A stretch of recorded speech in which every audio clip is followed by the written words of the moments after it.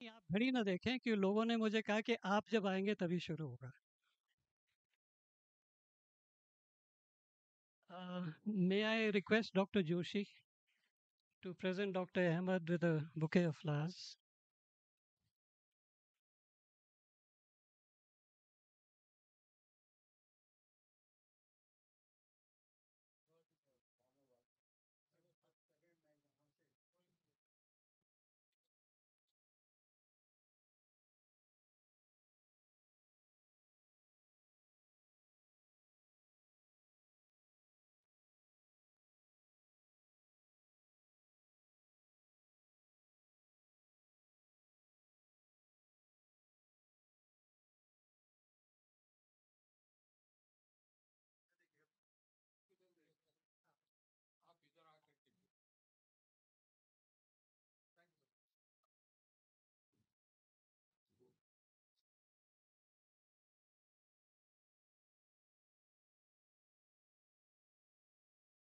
Shri Ravishankar से आग्रह है कि आप डॉक्टर अहमद का वेलकम करें।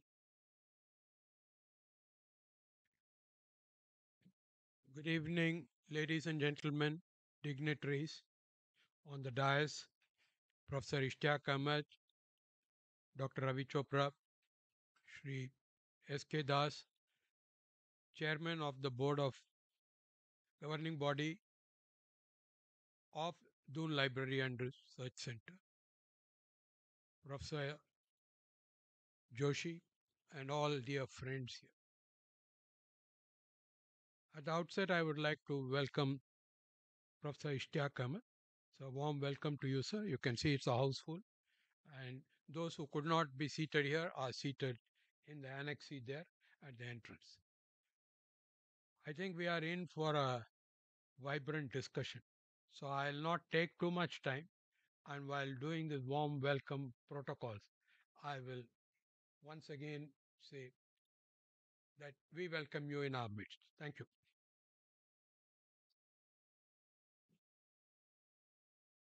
Dr. Das. Dr. Das. yeah, she, yeah, you can speak from her, but just five minutes, huh? We are short of time, so sirf five minutes.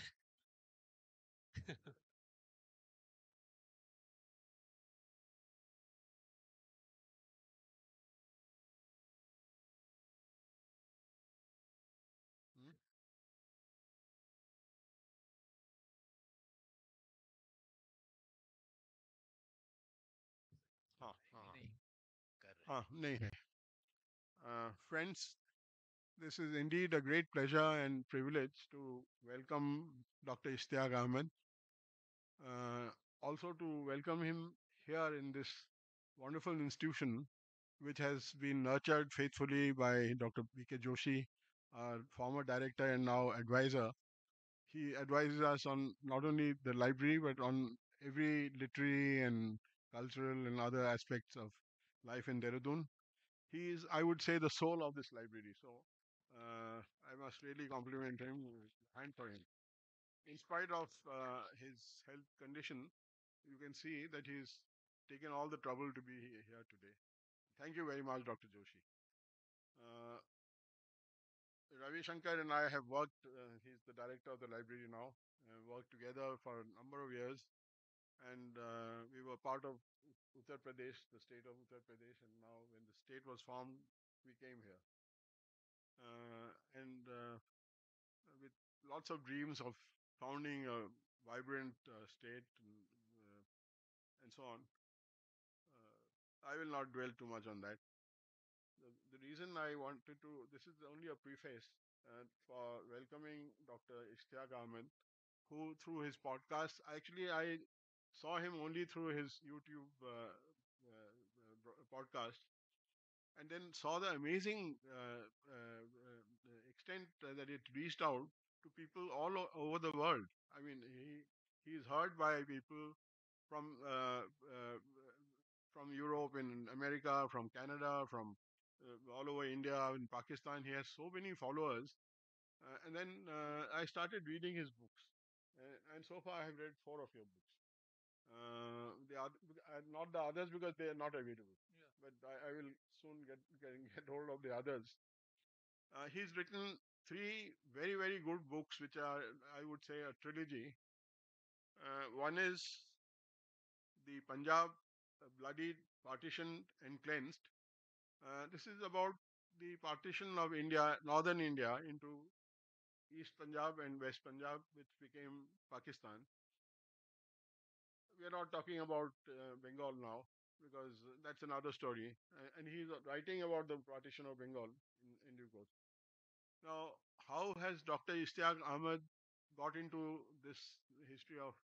Uh, the, the, he's not a historian. He's a professor of political science, but he has so much uh, experience uh, traveling and lecturing in various universities across the world. He uh, is also uh, connected with the uh, National University of Singapore uh, in the Lee Kuan Yew Center for Governance, and of course, Professor Emeritus in Stockholm.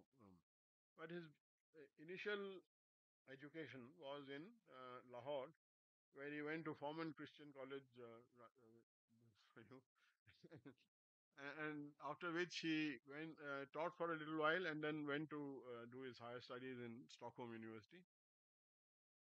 And since before coming here, I must tell you that he's already traveled uh, for nine weeks, nine weeks in in Pakistan. Pakistan. So he went to weeks. Pakistan, giving lectures all over the at 28 27 public audiences. public Yeah. public lectures in Pakistan, and he's come here. And I'm told, of course, I have been following him through his podcast. Uh, so uh, it seems the warmth and uh, uh, geniality in, in that across the border there uh, no less than what it is here. And here it's amazing the number of people who respond to him and listen to his various uh, uh, uh, talks. Uh, I would call him, Jinnah was Mr. Qaid Azam Muhammad Ali Jinnah was called the ambassador in his initial phase of Hindu Muslim amity. I think today uh, uh, Dr. Ishtiaq Ahmed may be called the ambassador of uh, India Pakistan amity. I mean, he's uh, he's really spent so much time going all over the uh, country giving lectures but the books that he has written, I mean, I many of them we managed to get hold of them. They are available on the uh, uh, table outside. Uh, if those who want to uh, read them, uh, Dr. Ishtiaq Ahmed would be available after this program to sign them, and you may interview him or talk to him. But uh, the stories that he writes about now the, the the book on Pakistan, the the uh, the, the the partition of North India, North, northwestern India into Pakistan and uh, uh, Punjab and uh, the Indian Punjab. India uh, in in the north, uh, the India uh, the portion that got partitioned is basically East Punjab, and that's one third of the whole Punjab, which is a very big uh, region. In addition to that, there is Sindh, there is Khyber Pa- Pakhtunkhwa, there is Balochistan. So uh, Pakistan is a very, very big country. I mean, we here we we often forget that even after pa- the division of Pakistan into Bangladesh and uh, India, uh, Pakistan is still a big country with 220 million people. So that's not a small country. I mean, it would be one of the uh, most dense, uh, uh, populated countries in the world. I think four or five, number four or five, six, Sixth in the six, sixth in the world. So today Pakistan is undergoing a financial crisis, but we wish them all the best. We hope they will soon recover, and uh, uh, I would like to assure uh, uh, Dr. Ahmed that are really heartrending how people have been torn apart by partition, but they've healed wounds. But there are also stories, uh, heart, uh, uh, touch, I mean, uh, uh, warming stories of people who were affected by partition but did not allow them.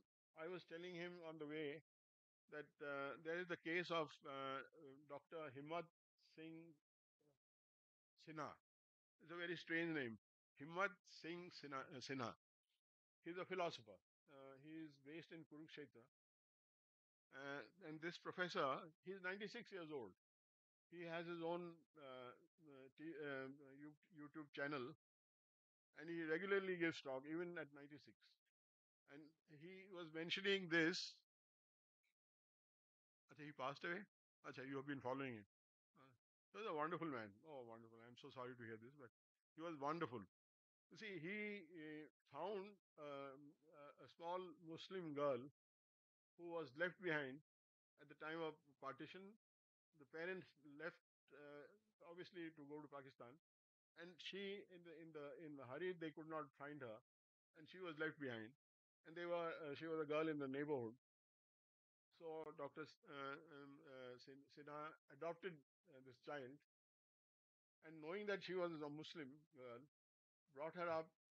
Although he was a caste Hindu, but he brought her up as a Muslim, educated her in a Muslim school, taught her the Muslim language. She became a professor of Urdu in the in, in the college there. And when uh, Dr. Sinha's uh, wife became very ill, and uh, he couldn't arrange to look after her, and he was already in his 90s. This lady, this girl, this young little girl who was now um, quite uh, uh, uh, a grown woman, she sa- said, Uncle, I will come and take care of her. And she nursed his wife till she died. So these are amazing stories of how much goodwill there was among communities uh, before the uh, poison of uh, communalism tore this uh, country apart. Uh, another point, uh, because uh, you know, one of our most distinguished uh, public intellectuals, Ashish uh, Nandi, who's also a clinical psychologist. Now he spent about 40 years studying uh, the effect of uh, partition violence on, on partition.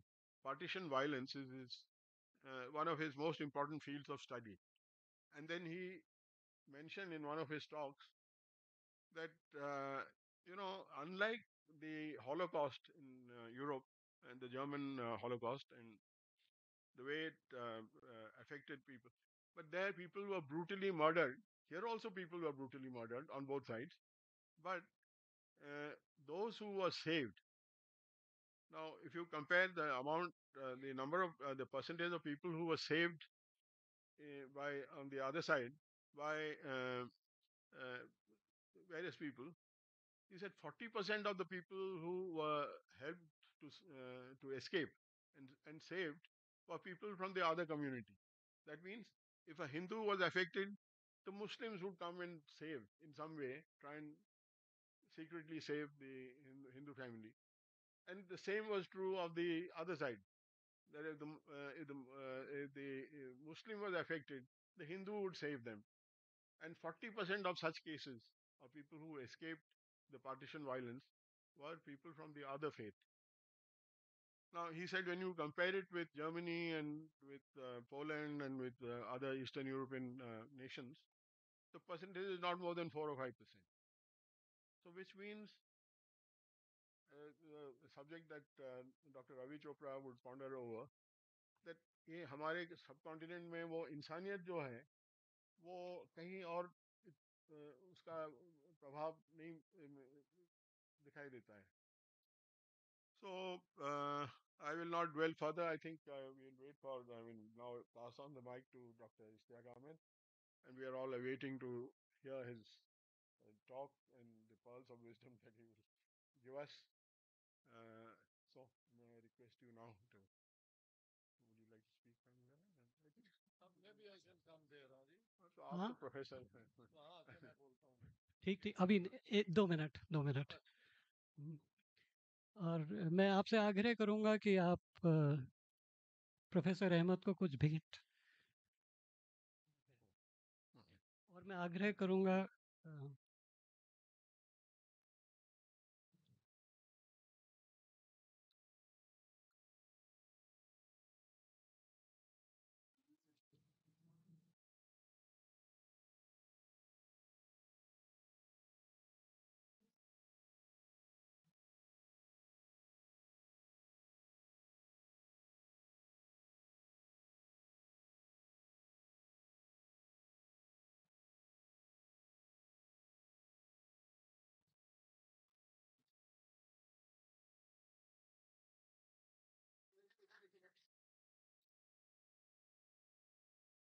ये natal shawl है क्या? हाँ। अच्छा। ये कंडाली का shawl है।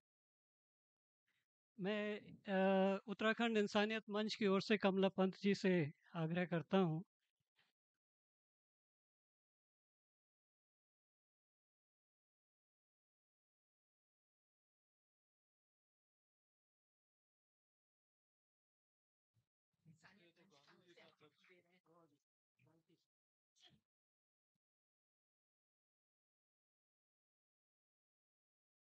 आपको गांधी की याद दिलाते रहेंगे।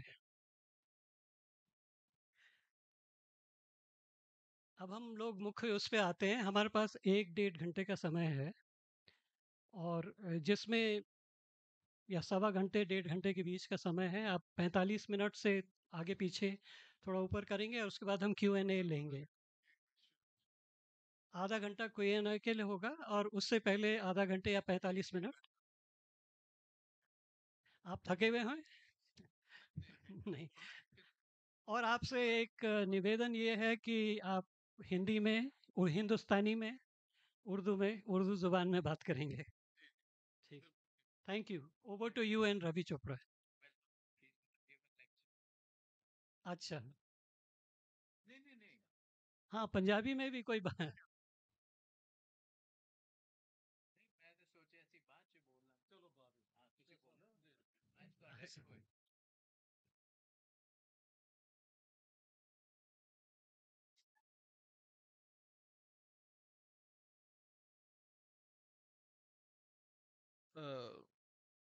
सुरजीत दास साहब, बाकी जो यहाँ पे हमारे कुलीग हैं, यहाँ हमारे दोस्त कई मुझे नज़र आ रहे हैं, ख़ास तौर पे संजीव चोपड़ा जी।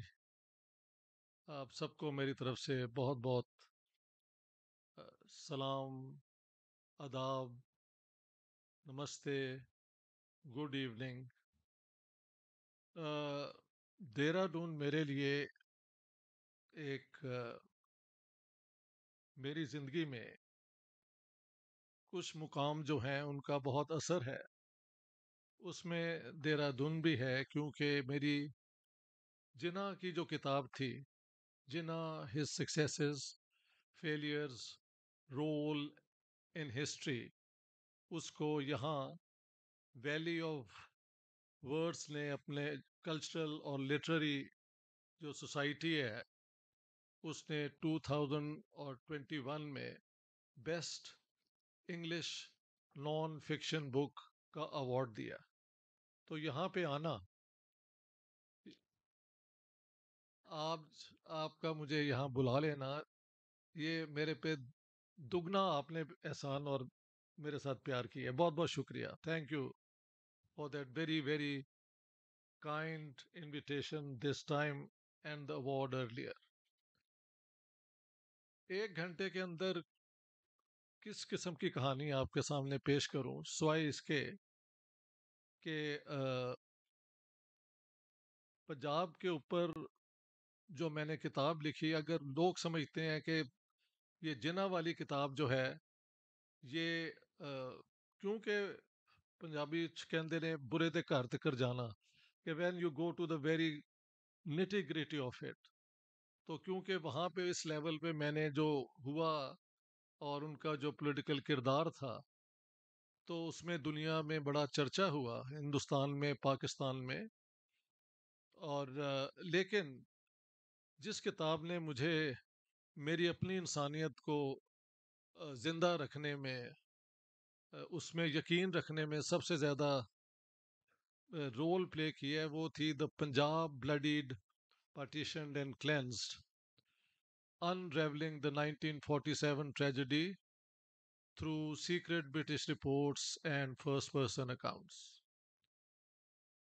इस किताब के लिखने की वजह ये थी कि अ, बचपन से हमारे घर में इसका पार्टीशन का जिक्र बार बार होता था बा, मेरी पैदाइश 24 फरवरी 1947 की है 57 ओब्लिक 112 टेंपल रोड मैं उसका नाम नंबर इसलिए बताता हूँ because that house is no more लेकिन मेरी मेमोरी में दैट्स वेरी इम्पोर्टेंट तो वहाँ पे ट्वेल्व अगस्त को मेरी जो माता जी हैं, मेरी मदर वो कहते हैं कि दिन के दस बजे वो बाहर देख रही थी। वो क्या कहते हैं, बारी में विंडो से तो उनके ये अपना राइट हैंड पे जो उस इलाके के हमारे मुजंग के इलाके के जो बदमाश थे, वो इकट्ठे हुए हुए थे। उस जमाने में लाहौर में आगे लग रही थी, लोग टीम बना के लूटने जाते थे, हिंदुओं के मोहल्लों पे, मुसलमान, मुसलमानों के मोहल्लों पे, ये दूसरे। तो ये बड़े बुरे दिन थे। उन्होंने देखा, ये सारे इकट्ठे हैं, यहाँ पे कुछ होने वाला है। इतनी देर में ये लेफ़्ट हैंड से एक सरदार जी आए अपनी मोटरसाइकिल पे और इन गुंडों ने कोशिश की कि उनको पकड़ा जाए और मारा जाए, लेकिन उन्होंने ही took out his gun and fired in the air तो वो सारे तितर बितर हो गए। अम्मी जी कहती हैं कि मैं देखती रही, मेरी सेंस थी कि यहाँ पे something horrific is going to happen कोई 20 मिनट बाद उसी तरफ़ से लेफ़्ट हैंड से एक सरदार जी आए। एक पुरानी दकियानूसी वॉन आउट डिंजी अपनी बाइसिकल पे और वो कारपेंटर थे। और दिन का जो खाना होता है वो बाँध के पोटली में उन्होंने लगाया हुआ था। उन्हें कोई खबर नहीं थी कि ये हिंदुस्तान तकसीम हो रहा है और यहाँ पे अब उनकी कोई जगह नहीं है। वो जब इनके करीब आए तो इन्हीं गुंडों ने उन्हें गिरा के बड़ी बेदर्दी से कत्ल किया। और वो ट्रॉमा मेरी अम्मी का जो है, उनके साथ ही रहा। उनकी वफात फरवरी 1990 में स्टॉकहोम में हुई, जहाँ मैं रहता था। लेकिन आखिर तक वो उस एक ट्रॉमा को कभी उससे रिकवर नहीं कर सकी। एक बिल्कुल इसी तरह हमारे घर के सामने ऊपर घर थे, नीचे थी दुकानें। तो एक दुकान से शाम के वक्त मुझे याद है, एक बंदा निकलता था और सारी दुनिया को गालियाँ देनी शुरू कर देता था। और जब वो दरवाज़ा बंद कर लेता था तो उस इलाके के जो शैतान बच्चे हैं, वो आके दरवाज़ा खटखटाना उसका और कहना, लाला चुरंजी लाल लाला चुरंजी लाल वो फिर दरवाज़ा खोल के तो सबको गालियाँ देता था। सो ये हर रोज़ का एक सीन था जो मैं भी देख रहा था। 1953 में पाकिस्तान में वो कम्युनल राइट्स हुए, सेक्टेरियन राइट्स। एक हमारा सेक्ट है जो अब गैर मुस्लिम करार दे दिया गया है अहमदियों का या कादियानियों का। और बाकी मुसलमानों का झगड़ा हुआ और मार्शल लॉ लगी। तो मार्शल लॉ की वजह से हर वक्त ये ट्रक पे फौजी आते थे, ऐसे गन्स पॉइंटिंग टुवर्ड्स विंडोज़ तो एक दिन जब वो शाम को आए तो this man open the door और वही गालियाँ जो उसे आदत थी देने की, उसने देनी शुरू कर दी।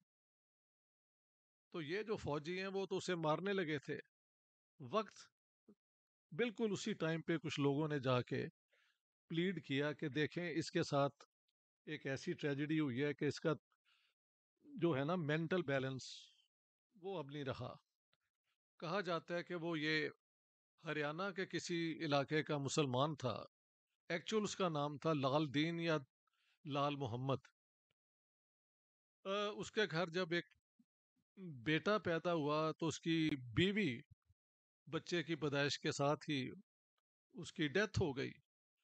उस बच्चे को उसने पाला था।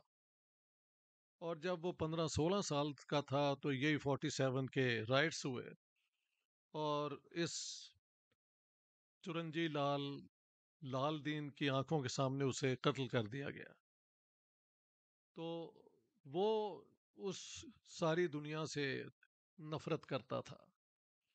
तो मेरे लिए ये दोनों किस्म के इंसिडेंट एक सरदार जी के साथ, एक मुसलमान के साथ तो लगता था कि कहीं ना कहीं इस ट्रेजेडी की भी स्टोरी बतानी चाहिए। बड़े होते हुए मैंने फिर मंटो को पढ़ा कृष्ण चंद्र राजेंद्र सिंह बेदी, और तो और रामानंद सागर का बहुत बड़ा एक नावल है, कभी मिले तो पढ़ें आप। और इंसान मर गया। और हमारी तरफ़ जो राइट विंग के बाद में राइटर्स बने अशफाक अहमद का गडरिया, जिसमें वो अपने एक हिंदू टीचर की बहुत तारीफ़ करता है। और कुदरतुल्ला शहाब, जो इनके सबके गुरु बने, उनकी सबसे बड़ी जो फिक्शन में काम है, वो पार्टीशन की बैकग्राउंड पे और उसमें इंसानियत के साथ जो जुल्म हुआ, वो सबने बिल्कुल हकीकत पसंदी के साथ पेश किया। लेकिन जब एक एकेडमिकली किसी चीज़ को आप देखते हैं तो वहाँ लगा के रिसर्च का वो कोई टेम्पलेट नहीं है। Where to start doing the research on Punjab होता क्या था कि उससे पहले जो ट्रेडिशनल हिस्टोरियन है, जिनको आदत है आर्काइवल मटेरियल के ऊपर ही इनहिसार करने की हाँ they rely just on those sources. तो वो तो 14 अगस्त के बाद पंजाब के गवर्नर्स की जो फोर्ट नाइटली यानी दो हफ़्ते के बाद वो सीक्रेट रिपोर्ट्स लिखते थे they came to an end chief से, चीफ सेक्रेटरी पंजाब की भी रिपोर्ट्स होती थी वो भी 14 अगस्त को ख़त्म हो गई। उसके बाद जब ये दो एडमिनिस्ट्रेशन आई ईस्ट पाकिस्तान, ईस्ट पंजाब में और वेस्ट पंजाब में। तो क्या उस ज़माने के गवर्नर उसके बाद कोई रिपोर्ट्स लिखते रहे? क्या वो मटेरियल है? अगर है तो वो अभी तक क्लासिफाइड है। आज तक हमारे पास वो सोर्स जो है वो आ नहीं सका।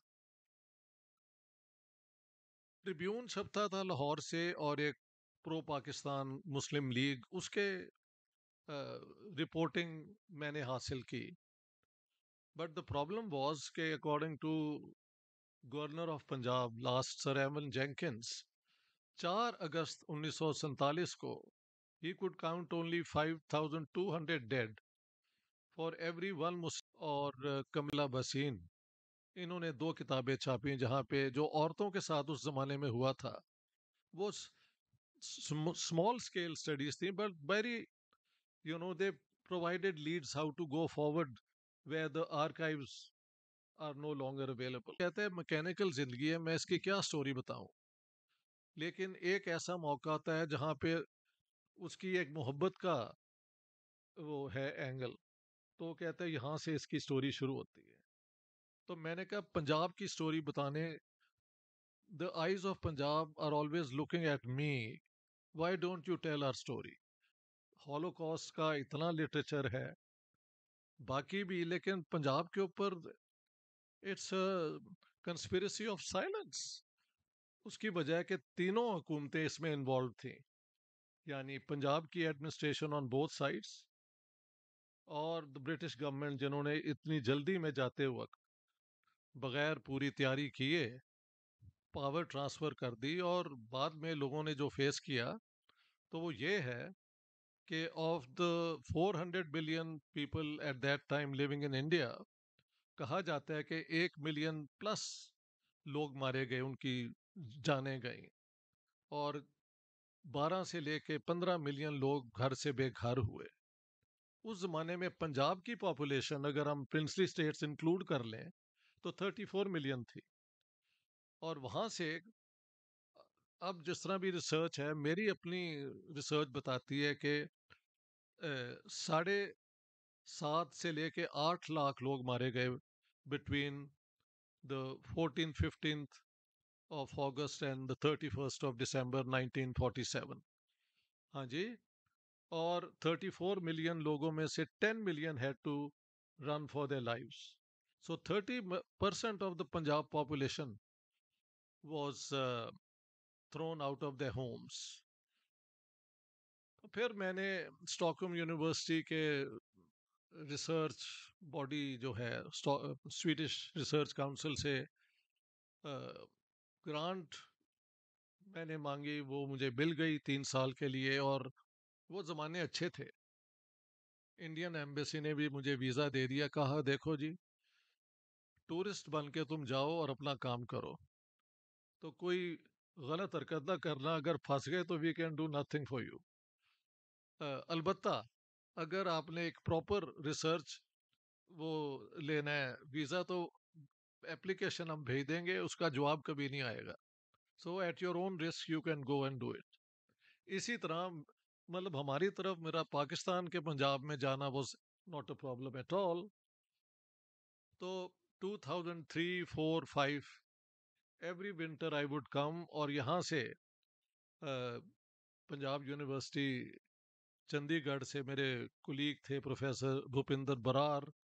उनके एक स्टूडेंट को मैंने असिस्टेंट के तौर पे हायर किया और उधर अहमद सलीम को किया और फिर हम गांव-गांव जाके जब मैं वापस चला जाता था सर्दियों के बाद तो ये लोग गांव-गांव जाके इंफॉर्मेशन लेते थे and then I would come and do my research लेकिन तीन साल गुजर गए, अभी I think the story was not yet completed तो मैं फिर अपने अपने वो कहते हैं थोड़ा सा पागल भी होना पड़ता है अगर आपने कोई रिसर्च करनी हो। हाँ जी?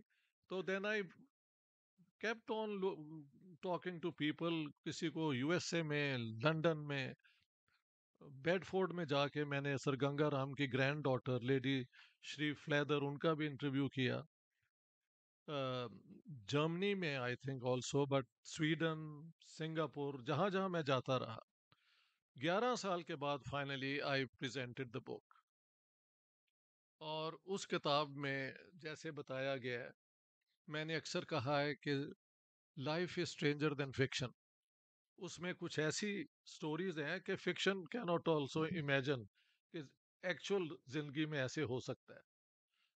और मैंने कहा है कि रियल लाइफ में जहाँ वो सादत हसन मंटो का वो है ना stark realism the shock he gives you वही वहाँ the magnificence of human kind जो कृष्ण चंद्र कहता है वो भी पार्टीशन के इवेंट्स में नज़र आता है। आपने शायद उसी का ज़िक्र किया था कि इस किस्म की मेरी रिसर्च है। जी जी। तो that book was very well received in both India and Pakistan और वहाँ पे उसे कराची में कराची लिटरेचर फेस्टिवल में it was declared the best non fiction book in 2013 फिर लाहौर लिटरेरी फेस्टिवल में also best non fiction book award in 2013 तीनों जगह पे आई वाज नॉट प्रेजेंट ये वैल्यू ऑफ़ वर्ड्स वाली तो मैं इसलिए नहीं आ सका कोविड मेड दैट इम्पॉसिबल लेकिन पाकिस्तान में for some reason I was not invited तो मैंने फिर एक आर्टिकल लिखा जिसमें एक मशहूर उर्दू का शेर है कि ज़िक्र मेरा ज़िक्र मेरा मुझसे बेहतर है। कि उस महफिल में है। हाँ जी, मैंने कहा, ज़िक्र मेरा ना करो। तो अवार्ड मैनू दे जाओ है काफ़ी है मेरे लिए। हाँ जी तो मुझे आज मैं समझता हूँ कि जिना साहब की किताब ने तो फिर वो क्या कहते हैं, मेरे सपोर्टर्स, मेरे बल्कि आई फील सो हम्बल्ड कि एक बंदा ज़िंदगी में आम अपने आप को पाता है और उसको फिर इतनी अटेंशन मिल जाती है कि अभी while we I was coming from Delhi one family identified me and फिर पिक्चर हमने देहरादून उतारी और यही इंडिया में हर जगह हो रहा है लोग मुझे पहचान लेते हैं। सो so, कुछ टेक्नोलॉजी का कमाल है हजूर कि ये जब से ये सारा कुछ आया है यू नो यूट्यूबर्स और योर वो then the work I have done मेरी एक और किताब है, जिसका यहाँ पे मेरे हेल्प पढ़ी जानी चाहिए, वो है Pakistan the garrison state, origins, evolution and consequences जहाँ मैंने बताया है कि क्यों पाकिस्तान में एक सिविलियन सुप्रेमेसी कायम ना हो सकी और ये क्यों पहले दिन से एक सिक्योरिटी स्टेट, बल्कि जिससे मैं कहता हूँ state. The whole metaphor of a garrison has two meanings. The garrison is always at the frontier of an empire. from where the first attack you are able to stop. It's also from there that you launch an attack. So Pakistan has this character of believing that it is threatened by India all the time and yet has launched four wars from Pakistan onto India. So I think that title uh, the nature of the Pakistani state और फिर बात ये थी कि ये सारी partition के अंदर किसका क्या रोल है? हिंदुस्तान में जो लिखा गया वो कदरे ज़्यादा न्यूट्रल वेल फाउंडेड जो एक स्कॉलरली रिस्पॉन्सिबिलिटी होना चाहिए उसके मुताबिक लिखा गया। हमारी तरफ़ ट्रू तो वहाँ फिर मेरा था कि सच क्या है इसकी, उसको ढूंढा जाए। उसमें जो मैंने मेथडोलॉजी इस्तेमाल की, मुझे समझ नहीं आती हिस्टोरियन क्या ये कोई असूल है आपका? कि सिर्फ़ वो जो पुलिस रिपोर्ट्स या वो, वही चीज़ें होती हैं what about people and they what they see what they say what they write what they argue what about that तो फिर मैंने जिना साहब की जो तकरीरें हैं beginning with twenty second March 1940 onwards ad infinitum जितनी भी speeches I have gone through जितनी भी कलेक्शंस हैं आई हैव गॉन थ्रू और आई हैव सेड कि twenty second March 1904 Jinnah Sahab ने टू नेशन थेरी को फाउंडेशनल आइडियोलॉजी ऑफ़ पाकिस्तान के तौर पे पेश किया कि हिंदू, मुसलमान, दो मुख्तलिफ़ रिलीजियस कम्युनिटीज़ नहीं है, ये दो मुख्तलिफ़ पॉलिटिकल नेशंस भी हैं, जिनको अगर आप मजबूर करेंगे, एक स्टेट में रहने को तो वो सिविल वॉर होगी और बहुत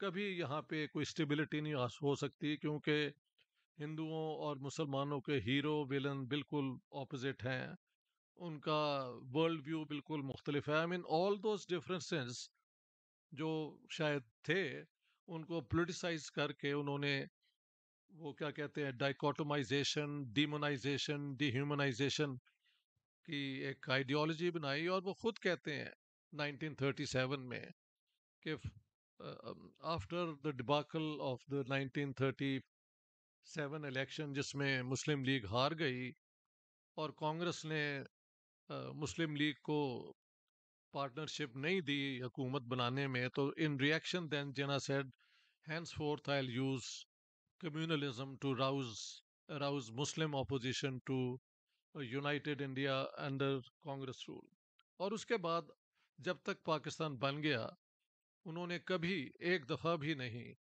इस स्टैंड से ही never be drive from it लेकिन ये थीसिस के वो चाहते नहीं थे Pakistan I looked in vain कि कोई भी जिना साहब की एक स्पीच एक स्टेटमेंट एक मैसेज कोई अब रिसेंटली डी क्लासिफाइड पेपर आए हों जहाँ पता हो कि प्राइवेटली वो ये कर रहे थे there is nothing to establish कि वो पार्टीशन नहीं थे चाहते। बल्कि बार बार उन्होंने ये कहा है कि अगर पार्टीशन ना हुई तो यहाँ पे ब्लड बाथ होगा और ये हो जाएगा, वो हो जाएगा, यूँ हो जाएगा। मसला यह है कि जब जिना साहब ने पार्टीशन की डिमांड की और 1923 मार्च को लाहौर रेजोल्यूशन आ गया that we want we demand the creation of independent Muslim states independent and sovereign in north eastern and north western zones of India where Muslims are in majority तो uh, उसके बाद 25 March को लाहौर में press conference है जना साहब की which I quoted saying कि the Lahore resolution is a landmark in the history of the subcontinent because for the first time we now demand a division of India. So he made it very clear that the Lahore resolution was about the partition of India. And still, a thesis has gone around, से believing के जिना साहब तो actually partition चाहते नहीं थे, and there is no evidence to substantiate it. एक जगह पे वो कैबिनेट मिशन प्लान के ऊपर बहुत एक कंट्रोवर्सी है, लेकिन उसको भी मैंने एनालाइज किया है कि जिना साहब and Congress initially both rejected the cabinet mission plan, because it didn't give Pakistan which Jinnah wanted and it didn't give India an effective center what the Congress wanted. उसके बाद फिर जिना साहब की और भी ज़्यादा बेलिकोस यानी एग्रेसिव भी चीज़ें कि हम ये कर देंगे वो कर देंगे and we should get Pakistan. But suddenly on the 6th of June 1946 एक इन कैमरा यानी सीक्रेट जो मीटिंग थी मुस्लिम लीग काउंसिल की, वहाँ उन्होंने कहा कि Pakistan is still our irrevocable goal but we may we may not get it tomorrow but we will work towards it because of क्योंकि देखे कैबिनेट मिशन प्लान में यह था कि India was grouped into three groups the princely states were not included just the three provinces a group was A group was Hindu majority, B group was northwestern India के Muslim majority provinces और C group Bengal and so on. और वो था कि every 10 years the groups as a whole or individual provinces can decide to leave the union. So already before a state comes into being, the seeds of its dissolution are uh, included. So it can't be a federation to begin with. The definition of a federation is that you can't secede from the union. It can be some sort of confederation. तो जो उसे लोग कहते हैं कि वो federation थी वो डिस्क्रिप्शन ही गलत है it was not even a confederation for another reason because centre को उन्होंने सिर्फ defence foreign affairs and communications ये तीन सब्जेक्ट दिए with no original right to raise taxes. The taxes would be given by the provinces. So that meant a paralyzed center at the mercy of the provinces. The third was that the hun- कितने थे यार 571 आपने count किए हैं princely states if I remember 571 you see I don't forget हाँ जी तो they only surrendered their foreign affairs and uh, defense, but retained their internal autonomy. Now, how does that make for a state a stable, coherent state? Let's say both Congress and Muslim League agreed to keep the union on these conditions. And they even agreed that we will extend universal adult franchise to the citizens the princely states were under no obligation to accept it. So, how could you ever really establish a viable state under the cabinet mission plan? Actually, the cabinet mission plan, I think, was an effort of the British military primarily. कि ये princely states की autonomy के जरिए you go out from uh, one door and enter from another as advisors and so on. So anyhow, the cabinet mission plan was then rejected by the Congress on the 25th of June, and the Muslim League accepted it. But what is not very often mem- mentioned is while the Congress rejected the idea of an interim government with a loose or a weak center, it agreed to the go to the constituent assembly उसके उसके भी election हुए थे to, to frame a constitution for India. The Muslim League said we will join the interim government, but we will not go to the Constituent Assembly till such time that cons- three constitutions of the three groups include this provision that they can secede. So, once again, I think if you are going to be fair, अच्छा वो बात ये है कि यार वो क्योंकि लिखा सारा उसमें हुआ है ना तो वो आसानी हो जाती है वरना पंजाबी की इजाज़त दो तो फिर झटकी आवाज़ में भी हम बोल सकते हैं हाँ। लेकिन चले मैं कोशिश करता हूँ हिंदी उर्दू जो भी है वो उसमें है कि अगर आपने आ, ये दो एलिमेंट थे ना कैबिनेट मिशन प्लान के एक था कि एक इंटरिम गवर्नमेंट बनेगी जब तक कॉन्स्टिट्यूशन नहीं बनती। और कॉन्स्टिट्यूशन बनाने के लिए असेंबली के भी इलेक्शन हुए थे। तो मुस्लिम लीग ने कहा कि इंटरिम गवर्नमेंट तो हम ज्वाइन करेंगे लेकिन उसके बाद मैं बताता हूँ उन्होंने और क्या कंडीशंस लगाई। बट मगर हम ए, इंडिया की कॉन्स्टिट्यूशन नहीं बनाएँगे जब तक कि ये जो तीन ग्रुप हैं ये अपनी कॉन्स्टिट्यूशंस बना लें जिसमें ये लिखा हो कि हर दस साल बाद ये चाहें तो इंडियन यूनियन को छोड़ सकते हैं। जो कांग्रेस थी, उसने कहा कि हम कंस्टिट्यूंट असेंबली में जाके इंडिया के लिए कॉन्स्टिट्यूशन बनाएँगे और हम नहीं मानते कि हर दस साल बाद ये डिसॉल्व हो सकती है। तो उस मौके पर ये क्राइसिस खड़ा हुआ। So the cabinet mission plan को जो रिजेक्ट किया कांग्रेस ने, वो बिल्कुल मैं समझता हूँ एक मुनासिब बुनियाद पे किया और उन्होंने 8 अगस्त 1947 को पहली दफ़ा पार्टीशन के हक में आवाज़ दी, क्योंकि जब 23-24 मार्च को लाहौर रेजोल्यूशन आया था तो एक हफ़्ते बाद सिखों के लीडर थे सर सुंदर सिंह मजीठिया।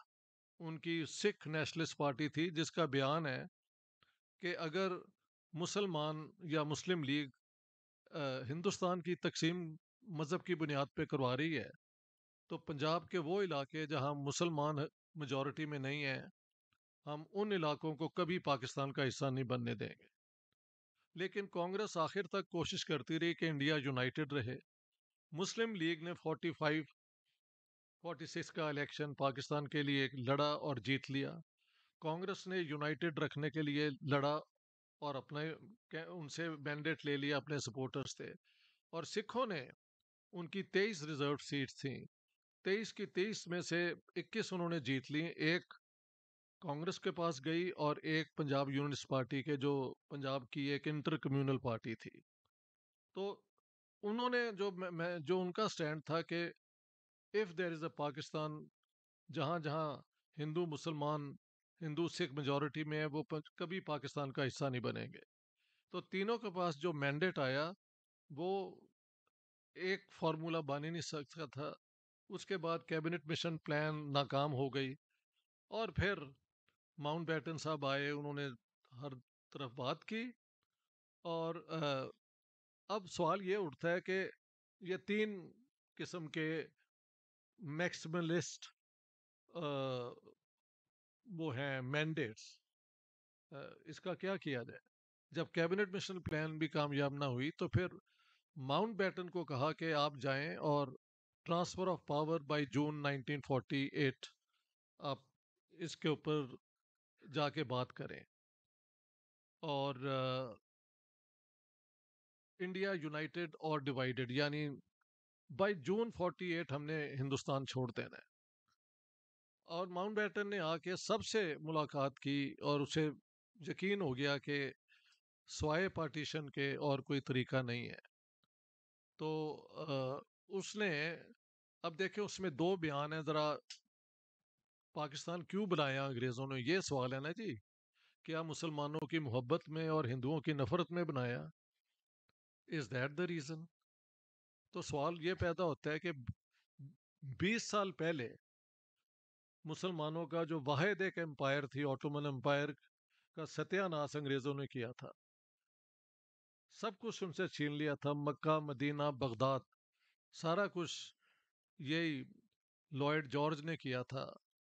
अब वो अगर पार्टीशन कर रहे हैं और मुसलमानों का मुल्क बना रहे हैं तो वो it can't be for the love of Muslims and Islam and so on so what was the basic idea behind it ये एक सवाल है। ब्रिटिश फौज के अंदर शुरू में ये था कि एक यूनाइटेड इंडिया इसलिए लाजमी है क्योंकि हमने जो आर्मी बनाई है, ब्रिटिश इंडियन आर्मी वो ही सोवियत यूनियन का इस तरफ़ जो मूवमेंट है उसको रोक सकती है। अगर इसे डिवाइड करेंगे तो इस आर्मी की भी डिवीज़न होगी।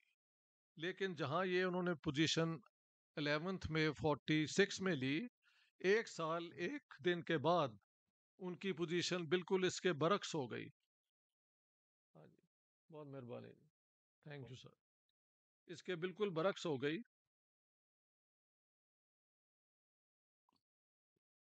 और वो ये पोजीशन थी कि एंड दिस इज़ ट्वेल्थ में 1947 ये भाई साहब अंग्रेज़ी में ही मुझे कहना पड़ेगा हाँ।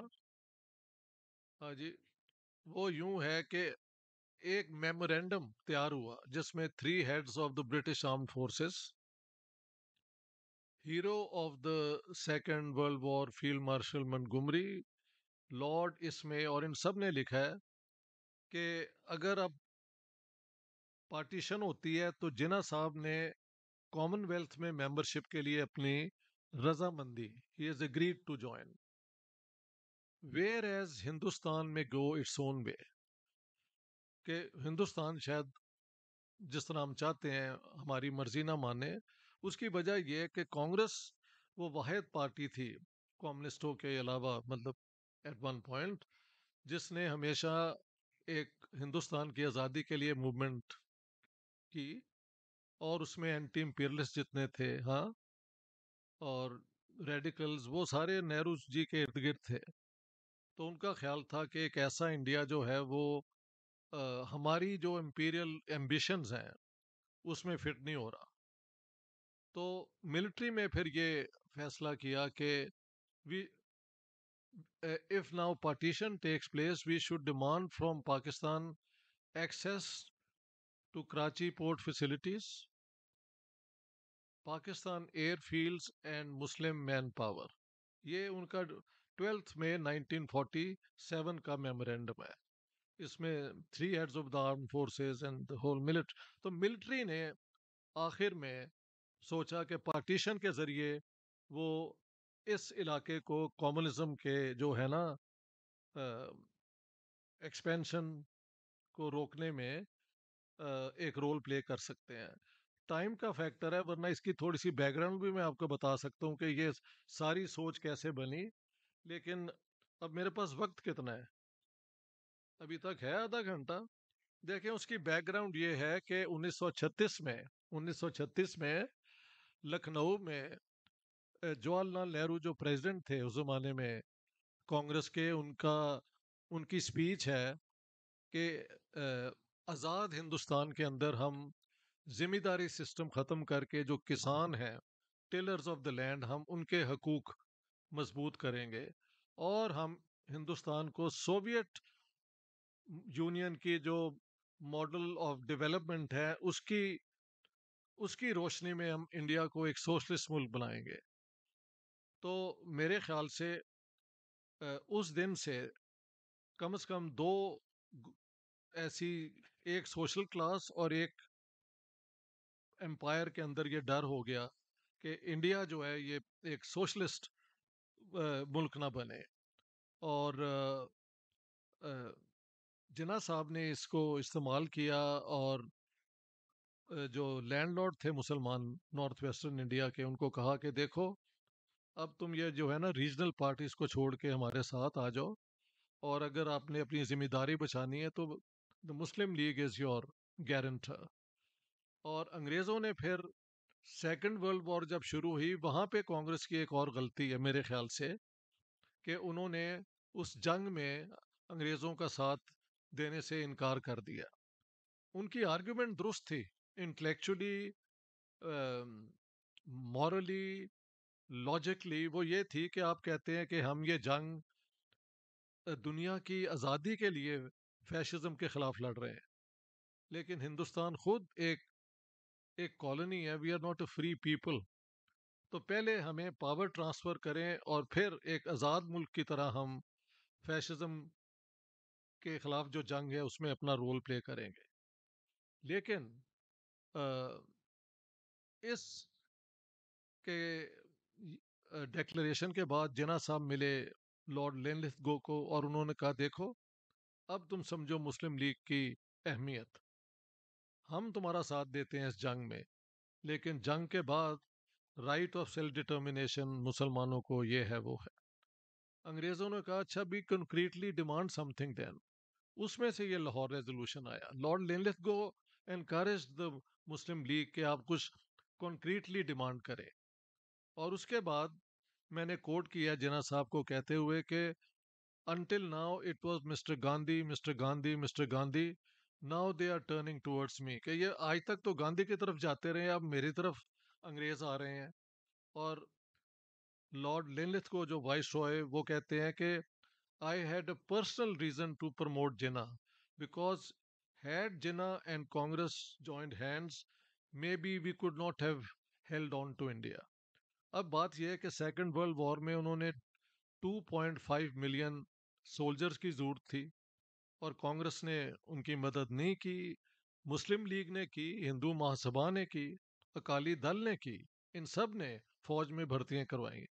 लेकिन कांग्रेस ने नहीं करवाई और उसके बाद क्विट इंडिया मूवमेंट जब शुरू हुई तो तब ये तीन साल जेल में रहे कांग्रेस के leaders, from the ninth of August till June 1945 इन तीन साल में फिर जना साहब ने जा जा के मुसलमानों को आसमान, ज़मीन, हर किस्म की जो है ना कि ये भी हो जाएगा पाकिस्तान में, ये भी मिल जाएगा, वो भी मिल जाएगा, मौलवियों को भी खुला, खुली छुट्टी दे दी, जो मर्ज़ी वो कहते रहे, कि रियासत मदीना वापस आ जाएगी, इंसाफ रसूल अल्लाह जैसे करते थे वैसे होगा, और हिंदू मनी लैंडर से आपको आज़ादी मिल जाएगी, ऐसा इंसाफ होगा कि जो दुनिया चौंक के रह जाएगी मतलब ऑल दो स्टोरीज उन्होंने अपने कैंपेन में की और बाद में फिर ये इलेक्शन रिज़ल्ट आया। इलेक्शन रिज़ल्ट के बाद मैंने बताया माउंट बैटन का हम बहस की मिलिट्री की डिसीज़न फाइनली ये है। और एक और कंक्रीट प्रूफ आपको दे दूँ। उस जमाने में हिंदुस्तान के चार वो थे commands eastern command Calcutta southern command Madras central command Delhi and northern command Rawalpindi. तो ईस्टर्न कमांड के जो हेड थे sir Francis Tucker lieutenant general sir Francis Tucker उनका उनकी किताब है while memory serves volume one में वो लिखते हैं कि we need to create an Islamic arc beginning in Algeria through Arabia Deserta, down in Persia into northern Hindustan, a Muslim majority state armed with Islamic ideology and British science.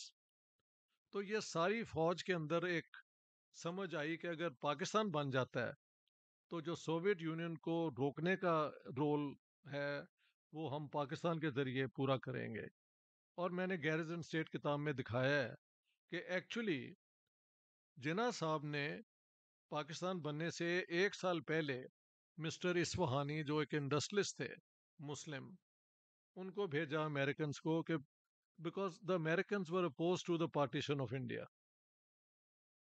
The British military at the last moment wanted India partition to create Pakistan. तो जिना साहब ने भेजा इस्फहानी को American American के पास कि देखें as a monotheistic Islamic religion Russian atheism को हम आइडियोलॉजिकली कन्फ्रंट करेंगे।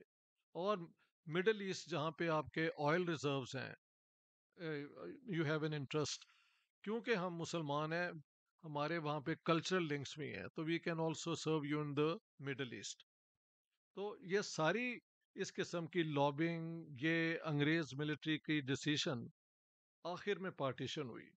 और पार्टीशन के अंदर फिर माउंट बैटन का ये फैसला कि जून 1948 की बजाय उन्होंने मई के एंड में यूके के जाके तो उनसे इजाज़त ले ली कि I bring the date of transfer of power forward to mid August 1947 तो ये बेसिकली माउंट बैटन का आइडिया है कि जल्दी जल्दी हम पावर ट्रांसफ़र करें and we get out of India By that time, Punjab was already up in flames.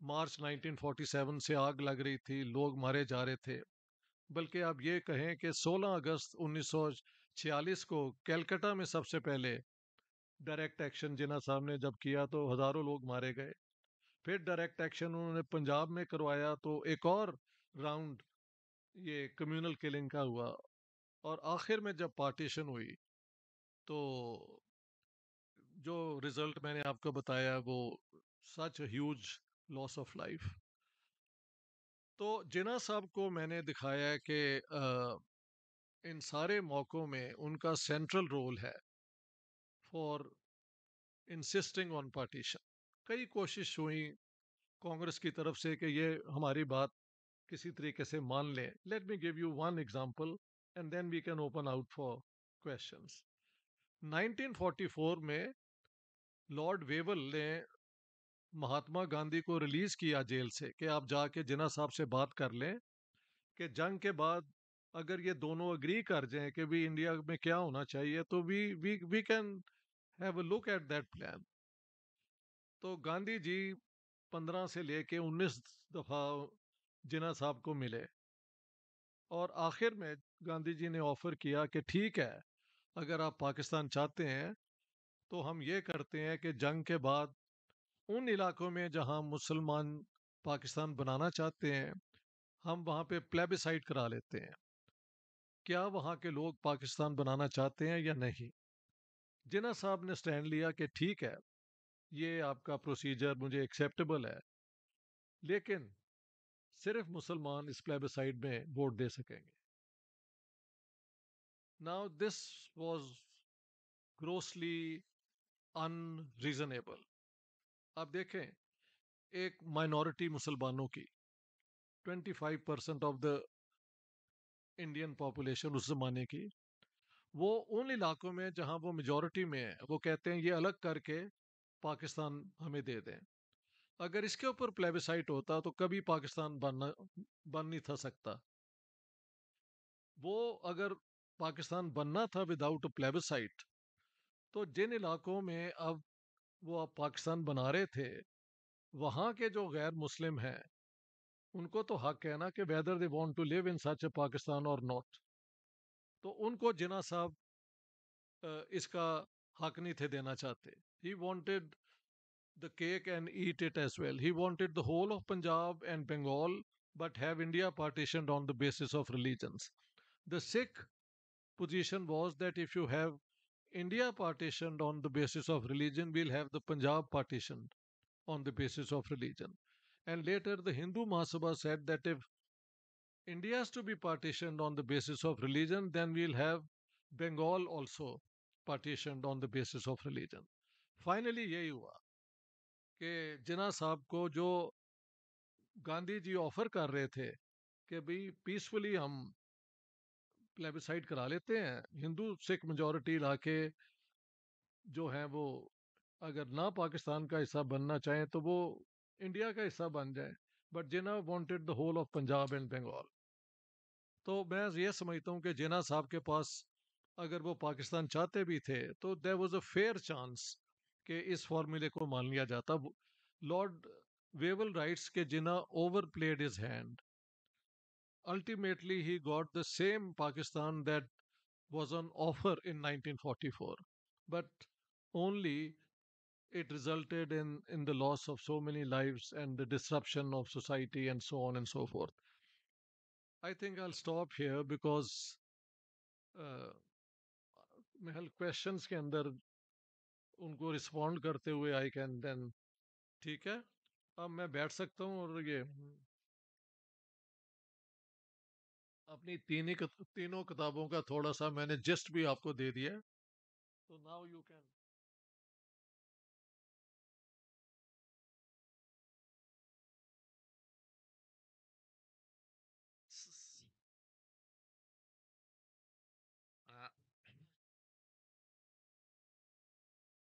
Sir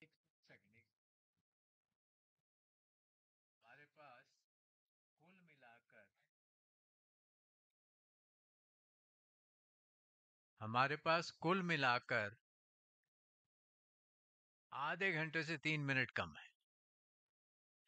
तो ज़्यादा लंबा सवाल नहीं ज़्यादा लंबी टिप्पणी नहीं। दो मिनट से ज़्यादा लोगे मैं काट दूँगा। ठीक है। Thank you just one question regarding the Punjab violence. जी जी। मतलब is it how much would you give the fact that you know too many servicemen in the province of Punjab? So like and who have just you know returned from fighting a world war, so that they have learned to kill. That's correct, sir. So because people have said that when the June third decision is taken, lot of people say that the worst is over. I mean, only the governor getting reports on the basis of the reports he is getting from the civilians जी जी is saying that, you know, villages are all set to. Yeah yeah I know So, आपका how much- सवाल क्या है what's your question nahi, sir question is that too many ex-servicemen in the province of that's Punjab, sir the violence, हाँ. the scale of violence in absolutely Punjab. I वो तो अब सवालों में आई हैव एन अपॉर्चुनिटी को इसका मैं जवाब दे सकूँ अ, देखें 1857 के बाद बंगालियों को फाइटिंग वो क्या कहते हैं फोर्स में नहीं थे रखते। डॉक्टर आर्मी में भी हो सकते थे but not in the fighting units ज़्यादा आर्मी उन्होंने पंजाब से और ये ये जो गुरखा टाइप हैं और ये डोगरास इनसे तो ये सारा यही लोग एक मिलियन से ज़्यादा सेकेंड वर्ल्ड वॉर के बाद डीमोबिलाइज होके अपने अपने गाँव में आए थे और जो नेक्सस बना, उसमें नेक्सस के अंदर जो थे ना अंडरवर्ल्ड के गुंडे, जो ये जुआ करवाते हैं, नशा बेचते हैं हाँ इस किस्म के लोगों को पुलिस को, ये पुलिस टाउट भी होते हैं, इनको मोबिलाइज किया गया। साथ में लोअर लेवल के थानेदार ये वो इन्वॉल्व थे मैजिस्ट्रेट्स इन्वॉल्व थे। मेरी किताब में सारी डिटेल्स हैं, बल्कि शहालमी में जो हिंदू सिख मेजॉरिटी इलाका था लाहौर का। जिस बंदे ने आग लगाई, उसकी पूरी कन्फेशन मेरे पास है, उसकी फ़ोटो भी मेरी पंजाब वाली किताब में है। इसी तरह लाहौर हमारे टेंपल रोड पे मेरे घर से कोई 200 मीटर दूर सिखों का एक गुरुद्वारा था छेवीं बादशाही। उसके ऊपर भी जो हमला हुआ लगाने वाला जो है मुजाहिद ताजदीन उसकी पिक्चर भी है, उसकी मर्ज़ी से। और हाजी अब्दुलरहमान उसकी भी जिसने शालमी की लगाई थी। तो ये थे मगर जो इनिशियल अटैक रावलपिंडी में हुए जहाँ पे सिखों के गाँव घेर के छः मार्च की शाम से लेके बारह की रात तक कोई ना फौज आई है ना पुलिस आई है। एक हफ़्ते जिसने जो चाहा कत्ल किया सिख तो कहते हैं हमारे दस हज़ार लोग मारे गए। ब्रिटिश रिकॉर्ड ने थ्री थाउज़ेंड एट हंड्रेड का ज़िक्र किया। है क्योंकि पुलिस आपको पता है, हमेशा रिपोर्ट कम बताती है, वरना उनकी हाजिरी हो जाती है ना। अभी अंग्रेज़ों का दौर था तो मेरी अपनी रिसर्च मैंने गाँव गाँव जाके काफ़ी टाइम स्पेंड किया। एक ही गाँव के मुसलमान और हिंदू, सिख ढूंढे, उनका जो एविडेंस है, उस दिन क्या हुआ था, वो मेरी किताब के अंदर है। तो I would say anywhere between पाँच से सात हज़ार मेनली सिख, लेकिन वहाँ पे हिंदू भी मारे गए। तो इसमें तो जनरल मिसरवी जो पाकिस्तान के फ़र्स्ट कमांडर इन चीफ उनकी पूरी रिपोर्ट है कि जिस तरीके से ये ऑपरेशन किया गया है ये बिल्कुल आर्मी वालों का तरीका है। तो इधर से इन्वॉल्वमेंट थी उधर से आईएनए के लोग जो हैं मसलन अ, एक बड़ा नाम है नरिंजन सिंह गिल ईस्ट पंजाब में, वो आईएनए का कर्नल था। उसने हमले मुसलमानों पे करवाए और फिर प्रिंसली स्टेट्स की जो आर्मीज हैं, वो भी इन्वॉल्व हो गई, पटियाला और इधर उधर तो फौज का इसमें इन्वॉल्वमेंट शुरू से है और इतना ज़्यादा कत्लेआम। बेसिकली इन लोगों का मेरे ख्याल से आधे से ज़्यादा ये तो मेंटली मतलब ट्रेंचेस में रहते हुए गोली मारना जस्ट बिकेम अ हैबिट तो आपकी बात बिल्कुल सही हंड्रेड परसेंट राजीव? एक सेकंड यहाँ राजीव फिर उसके बाद आपके मैं। सब ये पूछना चाहूँगा जी। कि आपने तो बहुत काफ़ी लोगों को इंटरव्यू किया होगा। जी।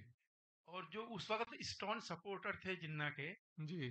और पाकिस्तान के मतलब ये पार्टीशन में जिनकी बड़ी सक्रिय भूमिका थी मतलब खूब बढ़ चढ़ के भाग जिन्होंने लिया कत्लेआम भी जी जी। उनसे आप मिले तो वो अब क्या सोचते हैं? मतलब कोई पछतावा या इस तरह का कि गलत हो गया इस तरह का कुछ महसूस करते हैं? अब देखिए इसके इस सवाल का जवाब देते हुए मैं थोड़ा घबरा रहा हूँ।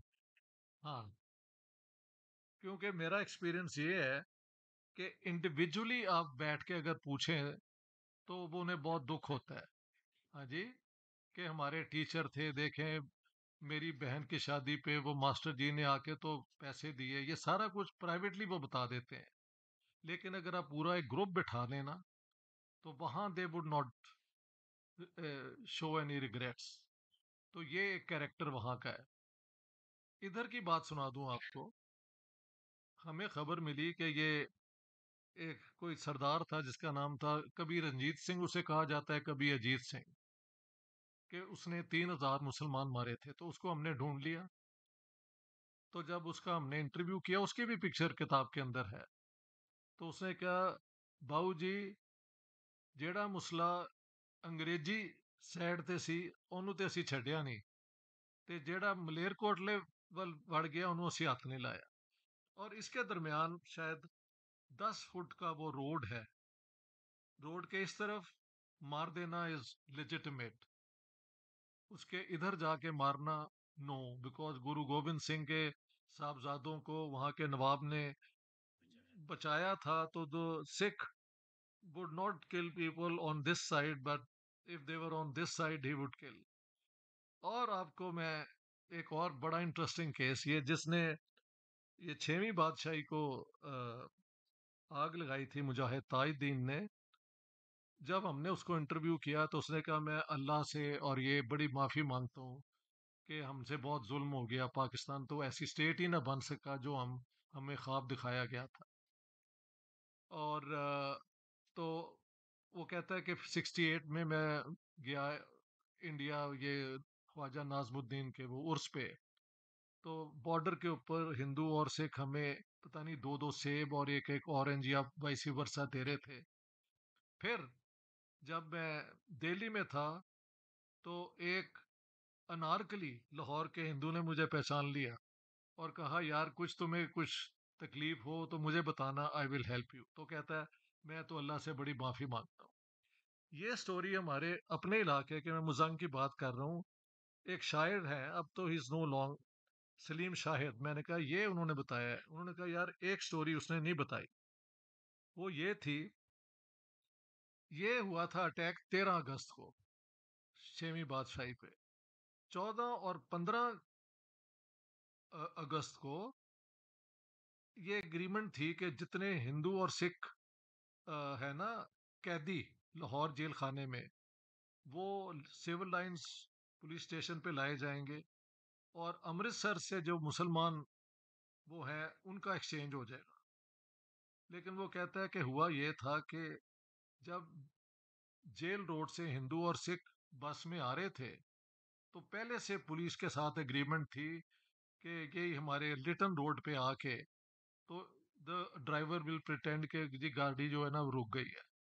तो वहाँ पे वो रुकी और इनको निकाल के वहाँ पे होती थी पहले हम कहते हैं जी जहाँ पे उगाते हैं मतलब ग्रीनरी वहाँ पे उन सबको कत्ल किया गया। तो उसने कहा मुजाहिद ताजुद्दीन ने जो ये एक्ट किया है वो जो है ना पहला वाला कि हमने हमला किया। मैं मुजाहिद था। When I jumped over this you know wall into the gurdwara the then he could play the hero but here this was a cowardly act के लोगों को मारा गया। तो इस तरह भी स्टोरीज हैं कि लोग आ, सच जो है बताते हैं फिर घबरा जाते हैं फिर छुपा भी जाते हैं। तो ये इस किस्म की स्टोरीज है। लेकिन ज़्यादातर मैंने नोट किया है कि हिंदुओं और सिखों ने जिन्होंने हमला लिया, किया वो कहते हैं कि इंसान को मारना पाप है। यहाँ पे ये ज़्यादा लोग मानेंगे। पाकिस्तान के अंदर प्राइवेटली यही कहते हैं सब कि ऐसी बड़ी ज्यादती की थी जी। वो पंडित जी बड़े नेक आदमी सन, मैनू ए मदद की थी। ये सारी बातें करते हैं। एक ग्रुप में बिठा दें देन दे डोंट तो ये इस किस्म का फ़र्क है। हाँ जी। एक पीछे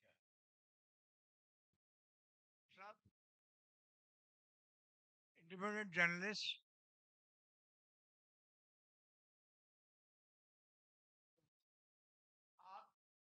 डॉक्टर साहब 1947 में पैदा हुए। जी। और उसी वक्त हिंदुस्तान और पाकिस्तान का डिवीज़न हो गया। जी। और बड़ा सेंटिमेंट दोनों साइड में था। उसके बाद आप ग्रो किए तो आपकी फंडामेंटल एजुकेशन पाकिस्तान में ही हुई हो, होगी। लेकिन उसके बावजूद भी इतनी intense hatred so to say उसके बावजूद भी आपने इतनी ऑब्जेक्टिवली सारी सिचुएशन को स्टडी किया। बहुत अच्छी तरह से डीप रिसर्च करी और उसके लिए बहुत मेहनत करी। उसको इतनी किताबें लिखी ये कैसे पॉसिबल हुआ? जबकि आज भी पाकिस्तान के अंदर ये सेंटिमेंट नहीं एग्जिस्ट करता। दोनों साइड में बहुत ज़्यादा एक्सट्रीमिज्म है राइट विंग एक्सट्रीमिज्म है। कुछ लोग अब इसमें तो कई इसके डिवीज़न भी है सब डिविजन भी है किस तरह के एक्सट्रीमिज्म है। लेकिन whatever it I just wanted to ask you what do you have to say on this particular situation of point?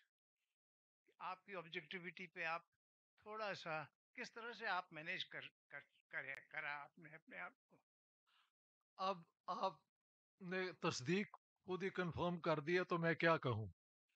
यही इसका प्रूफ है कि अगर ये मैंने ना की हो, कि किया होता तो क्या मुझे आपने यहाँ बिठाया होता?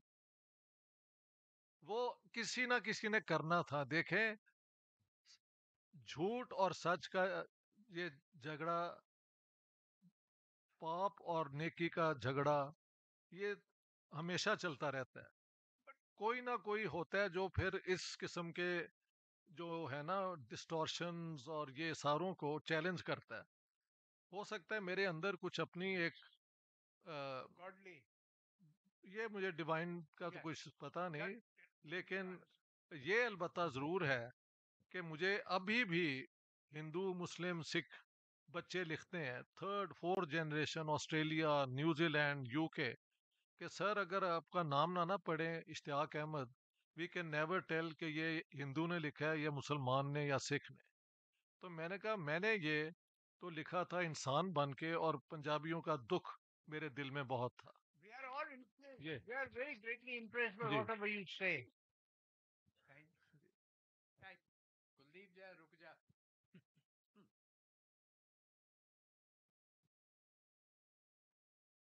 Thank you, Professor, for the wonderful enlightening session. Uh, I have three questions. One is, yeah, I have three questions. Uh, while you were researching, while you were researching, one was with the what challenges you faced in the historiography as, as such, because when we uh, look at the when we look at the documentary sources and when we also look at the oral history, most of the time the oral history tells a very different picture from the what documentary sources. So first is my question is the challenges you face in the historiography. Uh, second question my is that while you're talking about the Punjab and the partition, and when we talk about Punjab and partition, a lot of it is focused on an individual, Jinnah, and how, or or anywhere that how individual is uh, the role player in in in shaping a nation. But then, if we would look at the works of, like, say, um, Gyanendra Pandey, or if you look at Joya Chatterjee's work, and we say that there is a lot of subaltern element also involved in the process, in the process, especially the religious fundamentalism, which was not really inclined or moved towards the, which was not really towards uh, uh, the what you would say a political uh, ideology or the framework within it.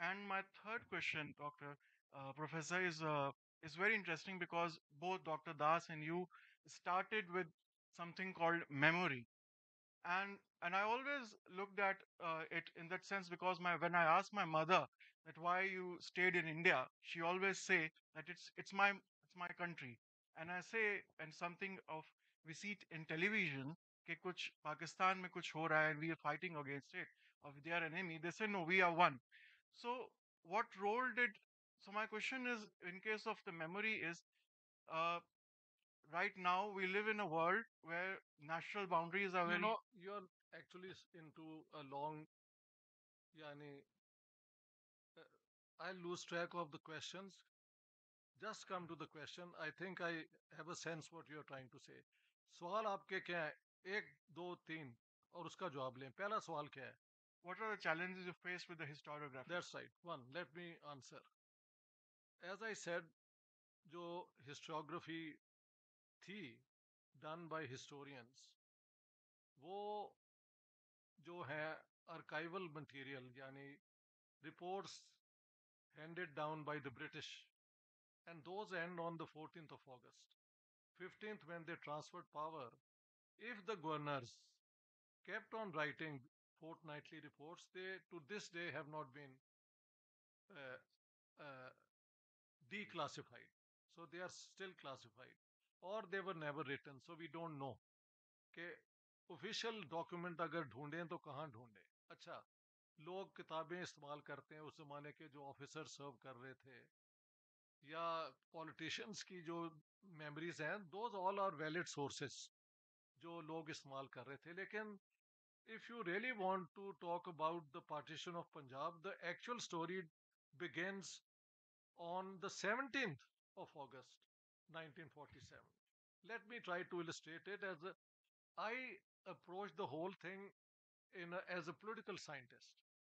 और उसमें मेरी एक पता नहीं आपने मेरी किताब देखी है या नहीं देखी उसमें एक चैप्टर है A Theory of Ethnic Cleansing where I go into how all these things happen mob psychology क्या होती है एथनिक एक्टिविस्ट uh, क्या करते हैं लीडरशिप क्या करती है if you have not read it then I don't think there is any point going into that theory but what I've argued is कि uh, uh, जो हिस्टोग्राफी थी वो तो चुप हो जाती है चौदह अगस्त के बाद तो जो एक्चुअल किलिंग हुई है और फोर्स माइग्रेशन हुई है और एथनिक क्लेंजिंग हुई है वो तो उसके बाद हुई है और थर्टी फ़र्स्ट दिसंबर 1947 में कंप्लीट भी हो गई।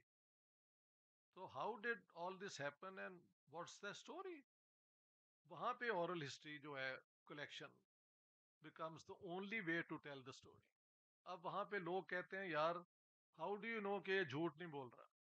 तो मैंने कहा, जो रिसर्चर है ना, उसको एकदम पता लग जाता है कि ये जो बंदा है, ये एक पॉलिटिकल एजेंडे वाला है। और ये एक आम, अनपढ़ सा आदमी है, उसको एकदम आपने पकड़ लिया है, वो क्यों एक झूठ बोलेगा तो फिर जाके हमने उन गाँव में कईयों की स्टोरी चेक भी की और वो दुरुस्त साबित हुई लोग उसमें they may not be very educated तो वो हज़ार कह देते हैं when maybe the number was a few hundreds. They don't know how to count. क्या महीने थे तो वो पंजाबी के महीने आपको बताएँगे but then through Tribune and Pakistan Times and other sources one can trace कि ये सितंबर था ये अगस्त होगा इस तरह करके है so I had to do all that on a very small scale the three Indian feminists had already done oral histories so there was a way of doing it only I did it for the whole of Punjab कोई इलाका मैंने नहीं छोड़ा uh, तो और फिर पूरी chronology और मेरी रिसर्च जो है ना basically it's at the level of high politics London and Delhi the British governor Punjab administration then at the level of the villages mohalla streets and all so all levels of what transpired are in the book and only a political scientist could have done it not a regular history उनका ये training ही नहीं है। So that is why the book is a very different book from what the historians have been writing in the past all I can tell you that has earned me their wrath वो सारे मेरे खिलाफ हो हाँ लेकिन आप लोग मेरे साथ हैं तो तो जीत तो मेरी हुई है ना हाँ अच्छा हाँ अच्छा दूसरा sorry you have run out of time हाँ uh, about your subaltern हाँ इज़ ए talk वो एक. वाइड सी टर्म है वो जो मर्ज़ी कह दो हाँ it makes you talk to हाँ him हाँ later? जी जी। I have Kuldeep over there who had raised his hand. We have run out of time, I may warn you. Sir दस मिनट बता दे हो कि फ़र्क क्या है? सर उस दौर में एक तरफ़ तो गांधी जी और नेहरू कांग्रेस को रिप्रेजेंट कर रहे थे। जी। और दूसरी तरफ़ जिन्ना और इकबाल और बाकी सब लोग मुस्लिम लीग को जी।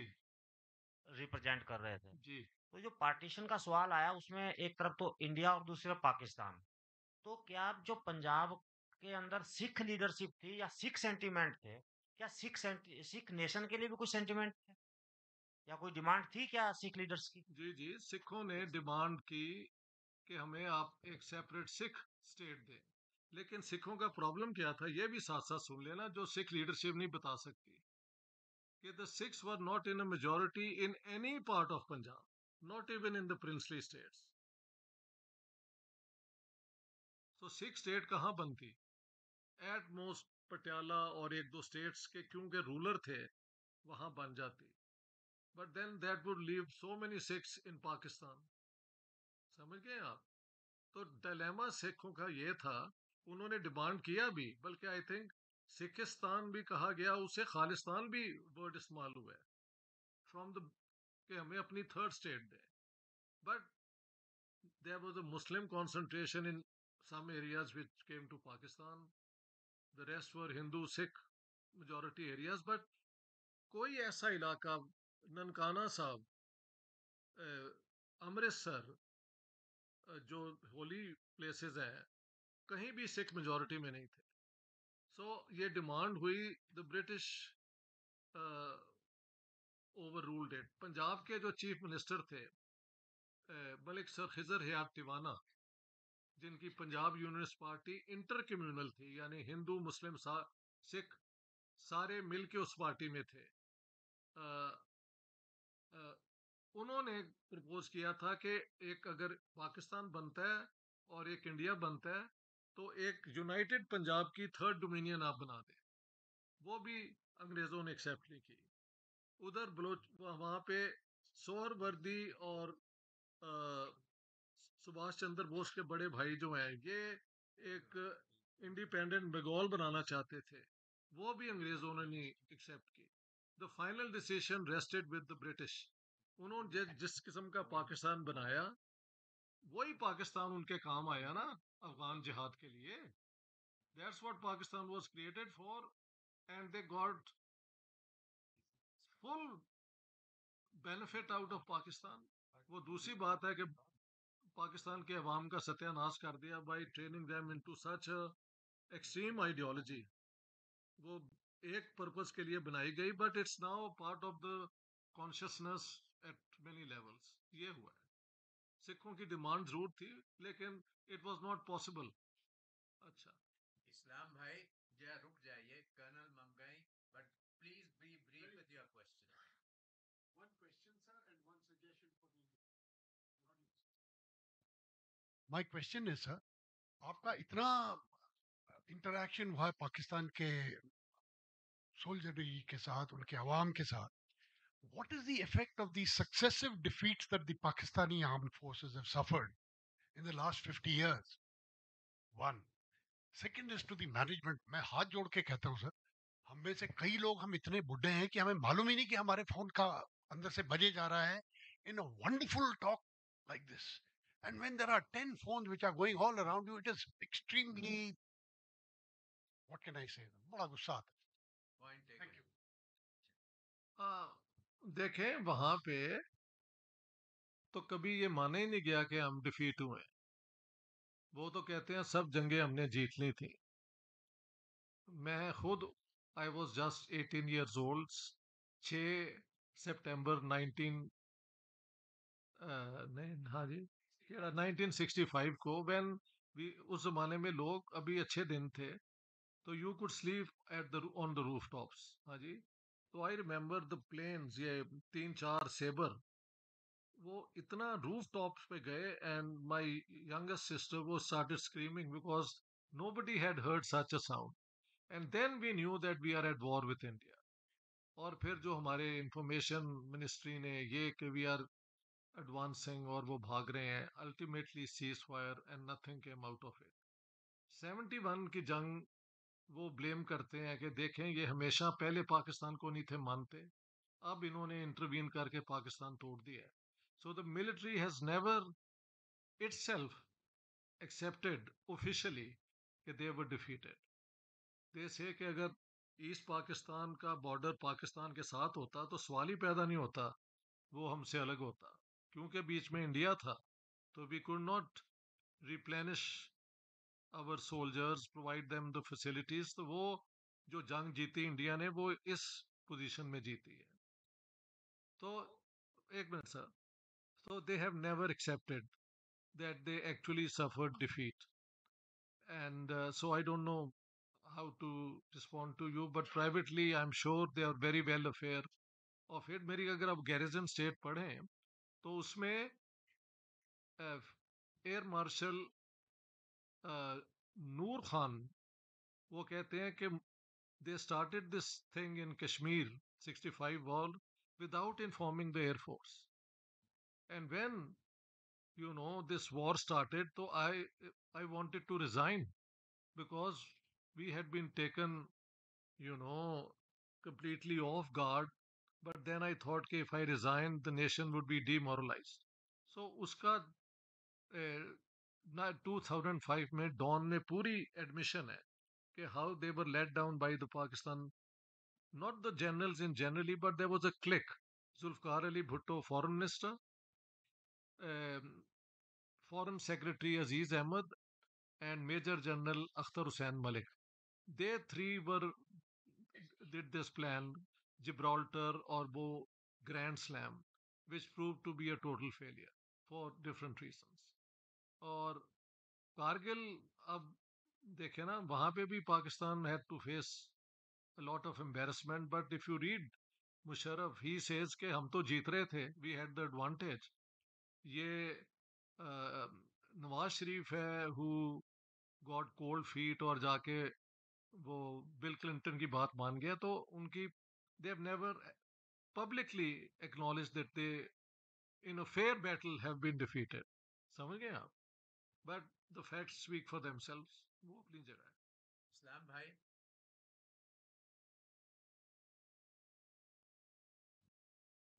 मेरा सवाल यह है कि आपने रिसर्च किया। जी।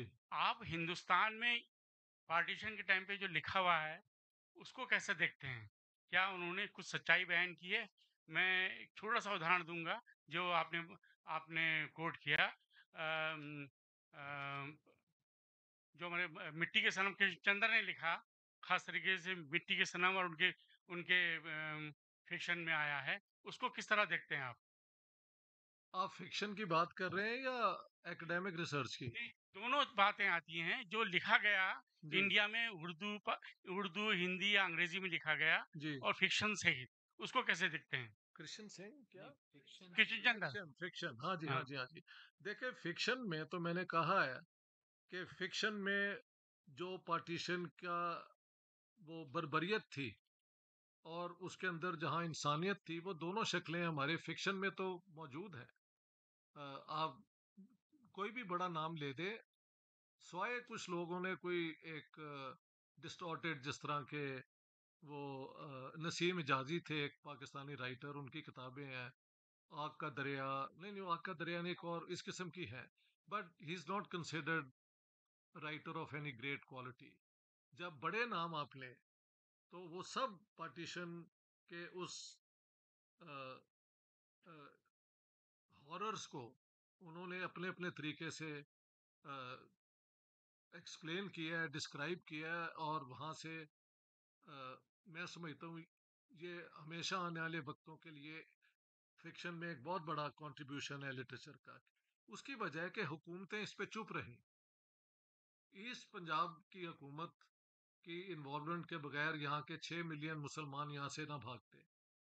और हमारी तरफ़ से 5.4 मिलियन हिंदू और Sikh to the last man कभी अपना घर ना छोड़ते। This is not in the nature of human beings सारी उम्र लगा के लोग एक घर बनाते हैं।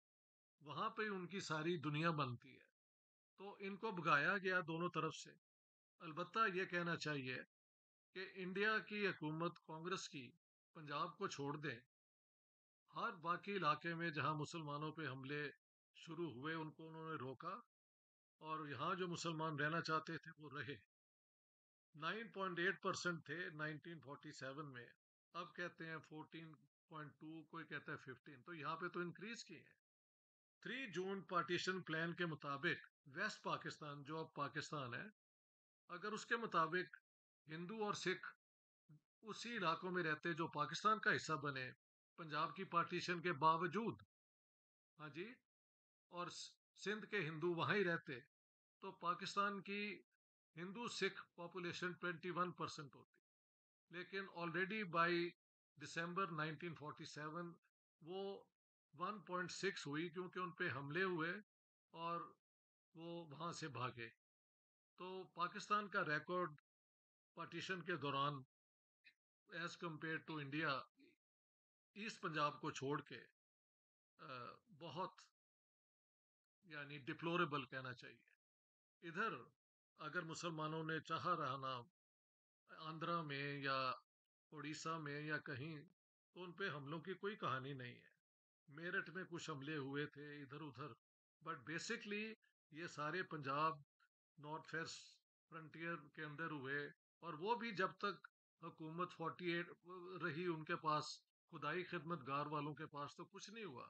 वो जब क्यूम खान की हुकूमत आ गई मुस्लिम लीग की तो उन्होंने फिर हमले शुरू किए, तब वो लोग भागे हैं वहाँ से। सिंध के अंदर सिंधी मुसलमानों ने सिंधी हिंदुओं पे तकरीबन बिल्कुल हमले नहीं किए वो यहाँ से जो गए हुए थे उर्दू स्पीकिंग जिनको घर चाहिए थे कारोबार चाहिए थे इन्होंने हमले किए तो वहाँ से फिर सिंधी हिंदू हिंदू और सिख वहाँ से भागे हैं। तो कैरेक्टर हर जगह का मुख्तलिफ़ है। आ, तो मैं समझता हूँ कि उसके बाद पार्टीशन पे मेरे ख्याल से कोई ऐसी रिसर्च तो हुई नहीं दोनों मुल्कों के अंदर। रिपोर्ट्स हैं।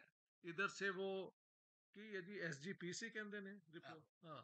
उनकी रिपोर्ट है मुस्लिम लीग या Muslim attack on Hindus and Sikhs by Harbhajan Singh I think Tabish और तालिश को एफो ना है सो so, जहाँ वो उन्होंने बताया कि किस तरह हिंदुओं पे और सिखों पे हमले मुसलमानों ने किए। एक और है जस्टिस जी डी खोसला की स्टर्न रेकनिंग।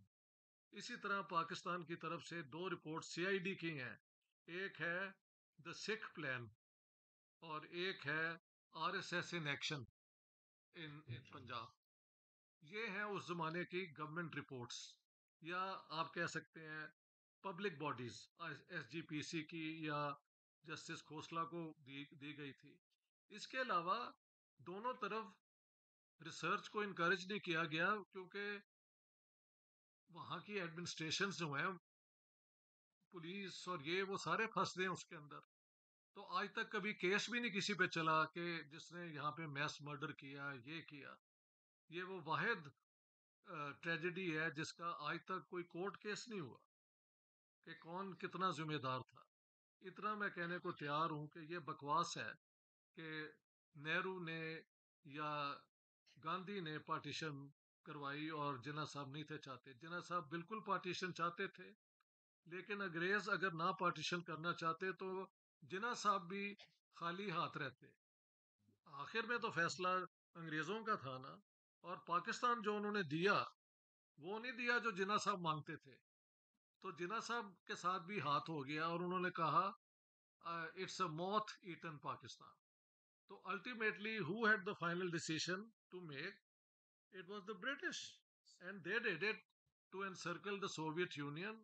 और फिर पाकिस्तान सेंटो सीएटो का मेंबर बना 1954-59 में डायरेक्ट मिलिट्री पैक्ट्स अमेरिका के साथ हुए। हाँ जी?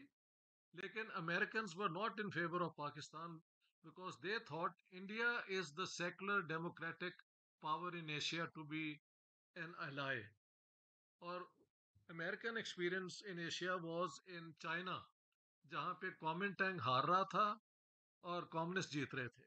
तो they wanted India to be the leader democratic leader ये तो अंग्रेज़ों की बदमाशी है, जाते हुए उन्होंने ये तोड़ दिया और मुसलमानों के साथ भी तो जुल्म किया ना। वन थर्ड मुसलमान यहाँ छोड़ दिए। तीस मार्च को, उन्नीस को, कानपुर के अंदर मुसलमानों ने घेर लिया कि भाई जहाँ पाकिस्तान बना रहे हैं, क्योंकि लाहौर रेजोल्यूशन तो 1940 मार्च में आ गया था ना, वहाँ तो पहले पाकिस्तान है।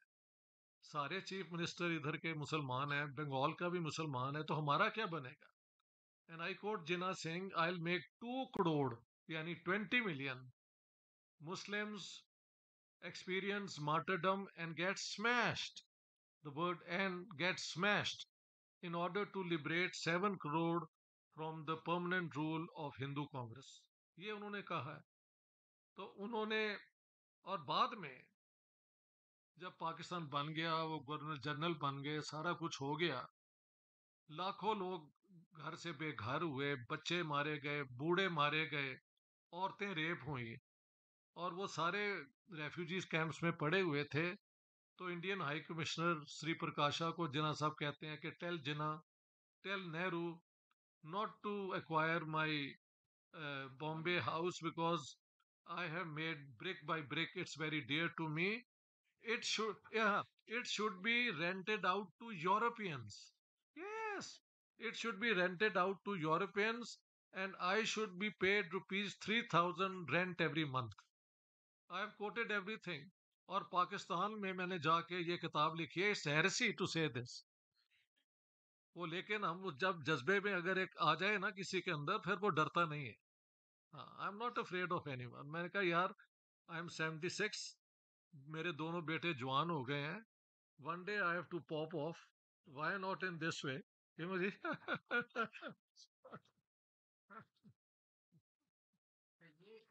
दो लोग वहाँ बैठे हैं यहाँ हाँ, लाल कमीज वाले पहले देखिए सुनिए अभी तक पुरुषों ने सब सवाल पूछे हैं। I would like some women to please not be scared अपना हाथ खड़ा कीजिए। चलिए गीता है। गीता आपकी बारी। नेक्स्ट उनकी बारी उसके बाद लेकिन आप अपना सवाल फटाफट पूछ नहीं पहले लाल लाल shirt. And we are really running out of time we are going to be seven o'clock I know sir मैं आपको फॉलो कर रहा हूँ मतलब काफ़ी सालों से यूट्यूब पे और हाँ मैंने आपकी पहली वीडियो शायद अरविंद सारन साहब के साथ देखी। जरा ऊँची बोले मुझे आवाज़ नहीं आ सर मेरा मेरे दो क्वेश्चन है कि जब पार्टीशन हो रहा था तो और जब मर्डर्स हो रहे थे किलिंग्स हो रही थी दोनों तरफ़ से तो क्या उस वक्त फोर्सफुल कन्वर्जन भी हो रहा था एक्चुअली? और दूसरा सवाल ये है कि इंटेंसिटी ऑफ़ जो किलिंग है एक्चुअली वो क्या सिंध में कम थी जो कि सिंधी मुसलमान जो पाकिस्तान में थे? बस मेरे दो ये क्वेश्चन है। Intensity of killings in Sindh actually not in Punjab area Sindh in Pakistan actually मैं देता था। नहीं दोबारा जरा ऊँची यार बोलो इधर आ जाओ आगे आ हाँ। जाओ कम इन फ्रंट हाँ। नहीं यार। हाँ तो मेरे जो दूसरा क्वेश्चन है कि जो इंटेंसिटी ऑफ़ किलिंग थी ना हाँ सिंध में एक्चुअली जो पाकिस्तान में है वहाँ पे क्या कम थी जो पंजाब में हो रही थी एक्चुअली जो पाकिस्तान का जो पंजाब है? नहीं ऐसे है हम्म। कि किलिंग शुरू तो उधर ही हुई है और पहले चार महीने उधर ही होती रही है। दो जुलाई उन्नीस को पहले हमला हुआ है। उस उन इलाकों में जो अब ईस्ट पाकिस्तान बना है। ईस्ट पंजाब बना है। हम्म। ठीक है? उससे पहले जो कुछ होता रहा Lahore Amritsar Rawalpindi Multan for a short while Jalandhar में होता रहा। हाँ जी? इधर मुसलमानों पे हमले शुरू हुए हैं दो जुलाई को। एक तो ये फ़र्क है। लेकिन मेरी वो यूँ है कि डिप्टी कमिश्नर पुलिस ऑफिसर सारे जो हैं उस जमाने के एक ही एकेडमी में ट्रेन थे, जानते थे। तो थोड़ा सा दीद लिहाज भी रहा। लेकिन जो प्रिंसली स्टेट्स थी, पटियाला और इधर और उधर, वहाँ पे इस किस्म की कोई कनेक्शंस नहीं थे। वहाँ पे फिर मुसलमानों पे जो हमले हुए हैं, वो बहुत ज़्यादा हुए हैं। मैं आपको एग्जांपल दे दूँ। साहब हाँ इनका सवाल ये है हाँ, कि पंजाब के कंपैरिजन में तुलना में हाँ। सिंध में ज़्यादा अच्छा सिंध में? हाँ। सिंध में तो हमले बहुत कम हुए कराची के अंदर हुए हैं और एक नवाबशाह में हमला हुआ है पहली सितंबर 1947 को एक ट्रेन पे। और फिर फरवरी या जनवरी 48 में कराची में हुआ है। ज़्यादातर सिंधी हिंदू जो हैं वो अमन अमान से वहाँ से चले गए क्योंकि लोकल सिंधियों ने मुसलमानों पे उन, उन पे हमले नहीं किए। उसकी वजह ये है कि सिंध की जो सिंक्रेटिक ट्रेडिशंस है ना ये लाल शाहबाज कलंदर और ये Jhule Jhule Lal Jhule for a long hmm. Long time I don't know कि Jhule Lal actually is a Hindu saint तो वो दोनों मिलके चलते हैं। तो सिंध में ऐसे नहीं हुआ। पंजाब में ए, बिल्कुल और करेक्टर है उसका। आपका ये सवाल था? हाँ ये हाँ। सवाल था और दूसरा सवाल ये था सर? ये तो चलो ठीक है ठीक है। अब हाँ। Please ask your question sir मैं जो आपकी रिसर्च है और जो उसके बारे में कुछ नहीं पूछना चाहती हूँ। मैं ये कहना चाहती हूँ कि अभी इस वक़्त जैसे हमारे बहुत सारे मित्र जब पाकिस्तान जाते हैं, बिजू नेगी जी जब पाकिस्तान गए तो बिजू नेगी जी का इतना अच्छा एक्सपीरियंस था। वो सारे लोग कहते हैं कि जब हम पाकिस्तान जाते हैं तो हमारे लिए इतना प्रेम, इतना स्नेह, दुकानों में बहुत सारे लोग हमको फ्री मतलब गिफ्ट के तौर पे सामान देते हैं। वो ये सब वहाँ पर होता है। जब पाकिस्तान से यहाँ आते हैं तो हमारे यहाँ हम भी कोशिश करते हैं कि हम बहुत प्रेम और स्नेह उनको करें। अभी दोनों तरफ क्या स्थिति मैं पॉलिटिकल उम, तो हमें बिल्कुल अंदाज़ा है कि यहाँ भी और वहाँ भी क्या स्थितियाँ हैं। लेकिन सामान्य समाज में क्या स्थितियाँ हैं और स्त्रियों के अंदर क्या स्थितियाँ हैं? देखिए, अवाम के अंदर तो जैसे आप खुद ही बता रही हैं अ, लोग घर ले जाते हैं, कहते हैं आपने जाना ही नहीं। खास तौर पे लेडीज़ को भैन जी तुसी आ गए हो ਤੁਹਾਡੇ ਕੋਲੋਂ पैसे लेना मतलब इस किस्म का सेंटिमेंट है छाबड़ी वाला रिक्शे वाला तो इसका मैं एक और तरीके से जवाब दूँ आपको 2013 में मैं बेंगलोर आईटी वालों ने मुझे बुला लिया। मेरी ये पंजाब वाली किताब छपी थी। तो मेरी तकरीर शुरू होने से पहले जैसे आपने बिठा दिया, एक young Indian girl got up and said sir why do Pakistanis hate us so much अब मैंने कहा, यार what question and what what should I do तो फिर मुझे ये, मैंने कहा, देखो, आज तक आई हैव ऑलवेज रिग्रेटेड कि पाकिस्तान का जो है ना लिटरेसी रेट बड़ा लो है। लेकिन आज मुझे खुशी है कि वो लो है क्योंकि जो लोग उन स्कूलों में उन किताबों को नहीं पढ़े, उन वो जो हिंदू सिख चला जाए, उसको घर ले जाते हैं, प्यार करते हैं। तो ये स्टेट स्पॉन्सर्ड इंडोक्ट्रिनेशन है पाकिस्तान के अंदर। और मेरे अगर आपने वीडियो देखे हैं तो वो rabidly anti Hindu anti India एक करते हैं। जिसके ऊपर हमारे प्रोफेसर के के अज़ीज़ की किताब है, द मर्डर ऑफ़ हिस्ट्री। अब मैंने देखा उसका हिंदी तर्जमा भी हो गया। आप ज़रूर पढ़ें। और वहाँ पे जो, यानी मैं बाहर रहता हूँ, मेरे लिए कदरे आसान है, ये सारा कुछ कर लेना। लोग वहाँ रह के हिम्मत करके ये सारी बातें करते हैं। तो स्टेट का नैरेटिव जिना साहब ने कायम किया था हमने जिना साहब का हिला दिया है वो सारा कुछ अब सारा कुछ हिल जाएगा। बेफिक्र रहे आप। हाँ जी। हाँ, Biju I will give up my time but that lady over there and then that gentleman who has been raising his hand yes बस that's it. पहले पहले पहले, पहले महिला को दीजिए। प्रोफेसर साहब? ਸਤਿ ਸ੍ਰੀ ਅਕਾਲ ਤੇ ਜੀ ਆਇਆਂ ਨੂੰ ਬਹੁਤ-ਬਹੁਤ ਜਦ ਦੋ ਪੰਜਾਬੀ ਮਿਲਣ ਤੇ ਥੋੜੀ ਸੀ ਗੱਲ ਪੰਜਾਬੀ ਚ ਵੀ ਕਰ ਲੈਣੀ ਚਾਹੀਦੀ ਹੈ ਅ, ਮੈਂ ਇੱਕ ਜਾਣਕਾਰੀ ਚਾਹਨੀ ਹਾਂ। ਮੇਰੇ ਵੀ ਇੱਕ ਦੋ ਦੋਸਤ ਹੈ ਜੋ ਗਏ ਨੇ ਲਾਹੌਰ ਜਾਂ ਨਨਕਾਣਾ ਸਾਹਿਬ ਵਗੈਰਾ ਤੇ ਬੜੇ ਅੱਛੇ ਐਕਸਪੀਰੀਅੰਸ ਰਹੇ ਨੇ, ਪਰ ਉਹ ਲਗਭਗ 10 ਸਾਲ ਪਹਿਲੇ ਦੀ ਗੱਲ ਹੈ। ਮੈਂ ਥੋੜਾ ਸਾ ਜਾਣਨਾ ਚਾਹਨੀ ਹਾਂ ਕਿ ਜੋ ਪੰਜਾਬ ਹੁਣ ਉਧਰ ਹੈ ਉਹ ਪੰਜਾਬੀ ਬੋਲੀ ਜਾਂਦੀ ਹੈ ਤੇ ਉਹਨਾਂ ਦਾ ਇੰਡੀਆ ਦੇ ਲੋਕਾਂ ਦੇ ਪ੍ਰਤੀ ਕਿਸ ਤਰ੍ਹਾਂ ਦਾ ਨਜ਼ਰੀਆ ਹੈ ਉਹ ਕਿਵੇਂ ਗੱਲਾਂ ਕਰਦੇ ਨੇ ਇੰਡੀਆ ਬਾਰੇ ਜਾਂ ਇੰਡੀਆ ਦੇ ਲੋਕਾਂ ਬਾਰੇ ਖਾਸ ਕਰ ਨੌਜਵਾਨ ਪੀੜ੍ਹੀ ਜੋ ਹੁਣ YouTube ਇੰਟਰਨੈਟ ਸਭ ਕੁਝ ਜੀ। ਚਲਾ ਰਹੀ ਹੈ ਉਹ ਕਿਵੇਂ ਦੇਖਦੀ ਹੈ ਉਹਨਾਂ ਦਾ ਕੀ ਪਰਸਪੈਕਟਿਵ ਹੈ ਇੰਡੀਆ ਦੇ ਪ੍ਰਤੀ ਮੈਨੂੰ ਇੱਕੋ ਸਵਾਲ बार-बार सारे करते हैं यूट्यूबर सर हिंदुस्तान में मुसलमानों के साथ क्यों जुल्म हो रहा है हाँ जी so this is the standard question ਮੈਂ ਕਿਹਾ ਮੈਨੂੰ ਤੇ ਦੇਖਣ ਇਸ ਨਜ਼ਰ ਤੇ ਕਦੇ ਜ਼ੁਲਮ ਨਹੀਂ ਆਇਆ, ਕੁੜੀਆਂ ਬੁਰਕੇ ਵਾਲੀਆਂ, ਹਜਾਬ ਵਾਲੀਆਂ ਆਮ ਫਿਰ ਰਹੀਆਂ ਹੁੰਦੀਆਂ ਨੇ ਰੋਡ ਤੇ ਔਰ ਰਾਤ ਦੇ 10 ਵਜੇ ਵੀ ਤੁਸੀਂ ਉਹਨਾਂ ਨੂੰ ਅਕੇਲਾ ਪਾਓਗੇ। ਔਰ ਦਾੜੀ ਵਾਲੇ ਮੁਸਲਮਾਨ ਪਤਾ ਲੱਗ ਜਾਂਦਾ ਹੈ, ਨਮਾਜ਼ ਪੜਨ ਜਾ ਰਹੇ ਨੇ, ਉਹ ਵੀ ਇੱਕ ਆਮ ਉਹਨਾਂ ਦੀ ਤੌਰ ਤੋਂ ਲੱਗ ਜਾਂਦਾ ਹੈ ਕਿ ਦੇ ਆਰ ਐਟ ਪੀਸ ਉਹਨਾਂ ਨੂੰ ਕੋਈ ਥ੍ਰੈਟ ਨਹੀਂ ਹੈ। ਲੇਕਿਨ ਜਿੱਥੇ ਫਿਰ ਝਗੜੇ ਹੁੰਦੇ ਨੇ ਤੇ ਉੱਥੇ ਜ਼ਾਹਿਰ ਹੈ ਉਹਦਾ ਤੁਸੀਂ ਮੇਰੇ ਤੋਂ ਬਿਹਤਰ ਜਾਣਦੇ ਹੋ ਕਿ ਉਹ ਵੀ ਹੁੰਦੇ ਨੇ। ਮੇਰੀ ਅੱਖਾਂ ਨਾਲ ਤੇ ਮੈਂ ਕੁਝ ਨਹੀਂ ਦੇਖਿਆ। ਇਹ ਪਰਸੋਂ ਮੈਂ ਇੱਕ ਮੇਰੇ ਦੋਸਤ ਨੇ ਡਾਕਟਰ ਸ਼ਮਸ਼ੂਲ ਇਸਲਾਮ, ਜਿਨ੍ਹਾਂ ਦੀ ਮਸ਼ਹੂਰ ਕਿਤਾਬ ਹੈ ਕਿ ਮੁਸਲਿਮਸ ਅਗੇਂਸਟ ਪਾਰਟੀਸ਼ਨ, ਉਹਨਾਂ ਨੇ ਮੇਰਾ ਡਿਨਰ ਕੀਤਾ ਹੋਇਆ ਸੀ ਕਰੀਮ ਇਸਲਾਮਿਕ ਕਲਚਰਲ ਸੈਂਟਰ ਦੇ ਵਿੱਚ ਰੈਸਟੋਰੈਂਟ ਤੇ। ਉਹਨਾਂ ਦੀ ਗੱਡੀ ਜਿਹੜੀ ਹੈ ਉਹ ਟ੍ਰੈਫਿਕ ਜੈਮ ਵਿੱਚ ਫਸ ਗਈ ਮੈਂ ਪਹਿਲੇ ਪਹੁੰਚ ਗਿਆ ਤੇ ਦੋ ਉੱਥੇ ਮੁੰਡੇ ਸਨ ਜਿਨ੍ਹਾਂ ਨੇ ਮੈਨੂੰ ਪਛਾਣ ਲਿਆ। ਤੇ ਉਹ ਹੈਗੇ ਸਨ ਮੁਸਲਮਾਨ ਮੇਵਾਤੀ ਮੈਂ ਕਿਹਾ ਯਾਰ ਗੱਲ ਸੁਣੋ ਇੰਟਰਵਿਊ ਦਿਓ ਲੇਕਿਨ ਬੋਲਣਾ ਸੱਚ। ਇਹ ਦੱਸੋ ਤੁਹਾਡੇ ਨਾਲ ਇੱਥੇ ਕੀ ਹੁੰਦਾ ਉਹ ਇੰਟਰਵਿਊ ਮੇਰਾ ਹੁਣ ਅਹ, ਮਹਿਲ ਇੱਕ ਦਿਨ ਦੇ ਵਿੱਚ 50000 ਪਲੱਸ ਲੋਕਾਂ ਨੇ ਉਹਨੂੰ ਦੇਖ ਲਿਆ। ਉਹਨਾਂ ਨੇ ਤੇ ਕਿਹਾ ਜੀ ਕਿ ਇੱਕ ਤੇ ਉਹਨਾਂ ਚੋਂ ਕੰਪੀਟ ਕਰਕੇ ਪੋਜੀਸ਼ਨਸ ਵਿੱਚ ਵੀ ਆਇਆ ਹੈ। ਦੇ ਸੇ ਕਿ ਸਾਡੇ ਸਾਰੇ ਦੋਸਤ ਅਸੀਂ ਰਹਿੰਦੇ ਵੀ ਹਿੰਦੂਆਂ ਚੋਂ ਆ ਤੇ ਸਾਡੀ ਦੋਸਤੀਆਂ ਵੀ ਨੇ ਮਜ਼ਾਕ ਵੀ ਚੱਲਦਾ ਹੈ। ਕਦੀ ਕਲਾਸ ਦੇ ਵਿੱਚ ਟੀਚਰ ਨੇ ਇਜਾਜ਼ਤ ਹੀ ਨਹੀਂ ਦਿੱਤੀ ਕਿ ਕਿਸੇ ਮਾਈਨੋਰਿਟੀ ਨੂੰ ਜਾਂ ਕਿਸੇ ਹੋਰ ਗਰੁੱਪ ਨੂੰ ਕੋਈ ਬੁਰੀ ਤਰ੍ਹਾਂ ਟਰੀਟ ਕੀਤਾ ਜਾਏ ਤੇ ਉਹਨਾਂ ਦੋਨਾਂ ਦਾ ਐਕਸਪੀਰੀਅੰਸ ਜਿਹੜਾ ਹੈ ਉਹ ਬਹੁਤ ਪੋਜ਼ਿਟਿਵ ਹੈ।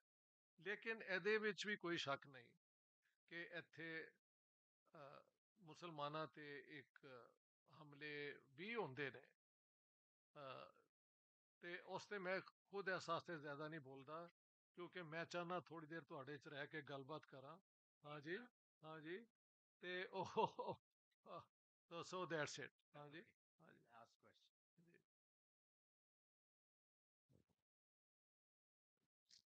अ, सर एक छोटी सी क्यूरियोसिटी मेरी ये है कि हिस्ट्री का अब तक का शायद सबसे बड़ा सरेंडर जनरल ए की नियाजी का हुआ था। उसको पाकिस्तान में कैसे जस्टिफाई किया जाता है? जस्टिफाई तो कोई नहीं करता। उसको तो कहते हैं, ये बुजिल था, ये है, वो है। उसको तो बेचारे को महल पहले पेंशन भी रोक ली थी, फिर अब दोबारा शायद उसकी सुना पेंशन रिस्टोर हो गई है। उसको तो बहुत बड़ा शेम वो समझते हैं। लेकिन उसकी अपनी किताब भी मैंने I always give people a fair chance to present their point of view उन्होंने अपनी किताब में कहा है कि मैंने याहिया खान को कहा था कि ये वेस्टर्न फ्रंट तब ए, ए, मार्च तक ना खोलें। मार्च में बारिशें शुरू हो जाती हैं देन यू डू इट और तब इंडियन आर्मी के लिए मूवमेंट जो है ना उन इलाकों में मुश्किल होगी। लेकिन उन्होंने जान के दिसंबर में कर दी जो ड्राई सीज़न है। और हमारे पास तो ना हथियार थे, ना ये था। तो surrender actually he blames that the top military wanted कि ये इस पाकिस्तान हमारे उसे निकल जाए। ना this is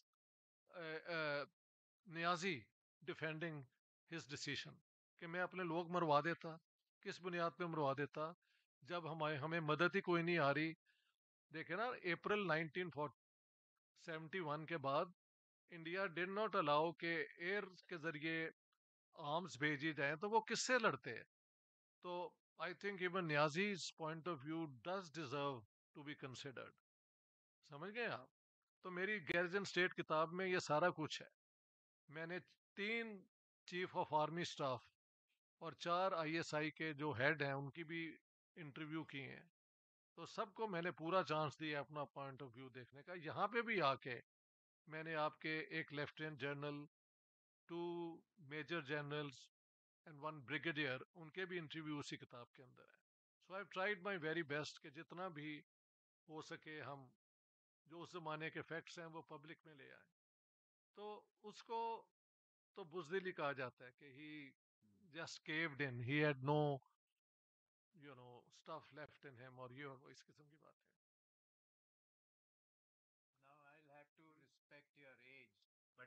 don't raise your hands और कोई हाथ मत उठाए आप एक वो सरदार और एक एक को नाम दे दो एक मेरे So- वाला ज्यादा दे So mine is not mine is not a question. It's just an observation. Since everyone is not familiar with Urdu, so I went to the dictionary.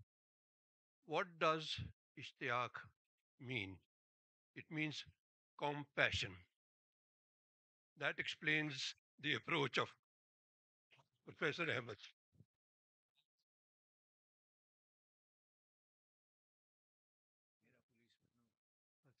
जनाब प्रोफेसर साहब जनाब बहुत अच्छा लगा नहीं जी पंजाबी बोलोगे तो मैं गल करांगा हाँ ਸ਼ੁਕਰੀਆ हाँ जी ਮੈਂ ਜਨਾਬ ਨੂੰ ਇਹ ਦੱਸਣਾ ਚਾਹਾਂਗਾ जी ਤੁਸੀਂ ਸਵਾਲ ਉਠਾਇਆ ਸੀ ਕਿ ਸਿੱਖਾਂ ਦੀ ਮੈਜੋਰਿਟੀ ਕਿਸੇ ਜ਼ਿਲ੍ਹੇ 'ਚ ਨਹੀਂ ਸੀ ਕਿਸੇ ਜਗ੍ਹਾ ਨਹੀਂ ਸੀ। जी ਔਰ ਸਾਨੂੰ ਇਹ ਦੱਸਿਆ ਗਿਆ ਹੈ ਕਿ ਕੁਝ ਸਿੱਖ ਡੈਲੀਗੇਸ਼ਨ ਬਾਬਾ ਸਾਹਿਬ ਅੰਬੇਦਕਰ ਨੂੰ ਮਿਲੇ ਜਿਨ੍ਹਾਂ ਨੇ ਕਨਸਟੀਟਿਊਸ਼ਨ ਲਿਖਿਆ ਹਿੰਦੁਸਤਾਨ ਦਾ। जी ਉਹਨਾਂ ਕਹਿੰਦੇ ਕਿੱਥੇ ਮੈਜੋਰਿਟੀ ਤੁਸੀਂ ਦੱਸੋ?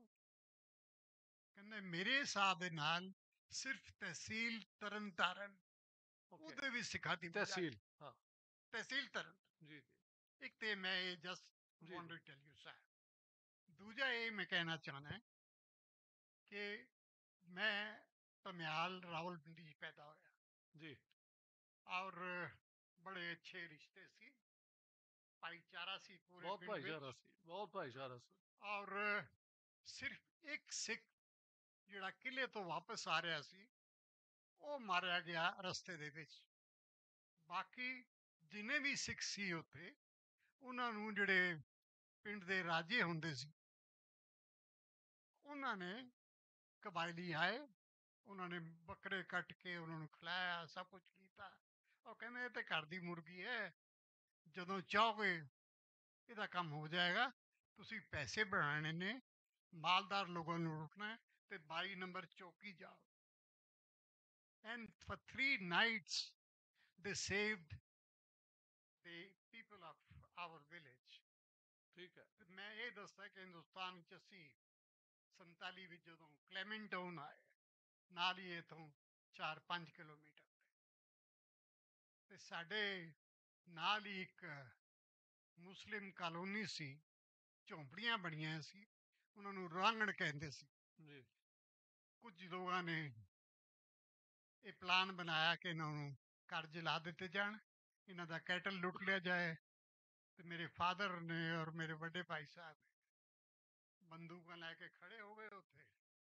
ਅਗਲੇ ਦਿਨ ਸਵੇਰੇ ਸਾਰਾ ਕਾਫਲਾ ਬਣਾਇਆ ਔਰ ਪੂਰੇ ਉਹਨਾਂ ਦੇ ਕੈਟਲ ਔਰ ਕਿਸੇ ਦਾ ਕੋਈ ਜਾਨੀ ਮਾਲੀ ਨੁਕਸਾਨ ਨਹੀਂ। ਮੇਰੇ ਫਾਦਰ ਕਹਿੰਦੇ ਸੀ ਕਿ ਇਹ ਮੇਰੇ ਵੀਰਾਂ ਦਾ ਜਿਹੜੇ ਪਠਵਾਰ ਦੇ ਧਮਿਆਲ ਦੇ ਜੋ ਰਾਜੇ ਸੀ ਦੋਸਤ ਸੀ ਇਹ ਉਹਨਾਂ ਦਾ ਜਿਹੜਾ ਵਾਹ ਸਾਡੇ ਜੀ ਤੇ ਮਿਹਰਬਾਨੀ ਸੀ ਵਾਹ ਜੀ ਇਹ ਵਾਹ। ਛੋਟਾ ਜਿਹਾ Thank you, sir. Thank you. Thank you. And I'm, it's a wonderful, sir, to listen to you, sir. Thank you, sir. Thank you very Uh, unfortunately, Doon club ने यहाँ डिनर का प्लान नहीं करा है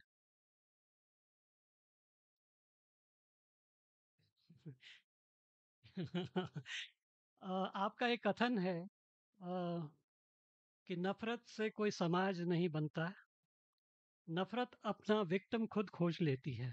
वाह तो मुझे लगा कि मैं आज की सभा में बहुत कई बातें अनकही भी रह गई हैं। So but let me finish this and may I request doctor Joshi Doon library की कुछ पब्लिकेशंस हैं एंड रतिन मित्रा की एक पेंटिंग है।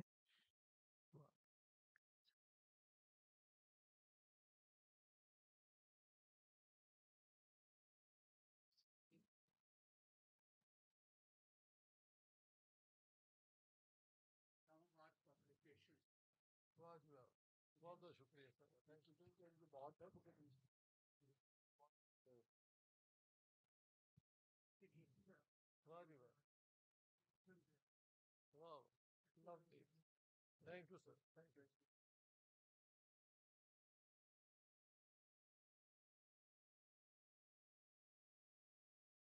तो प्रोफेसर साहब, अब देहरादून के बारे में आप सिर्फ़ ये नहीं कहेंगे कि आपकी किताब यहाँ अवार्ड हुई थी।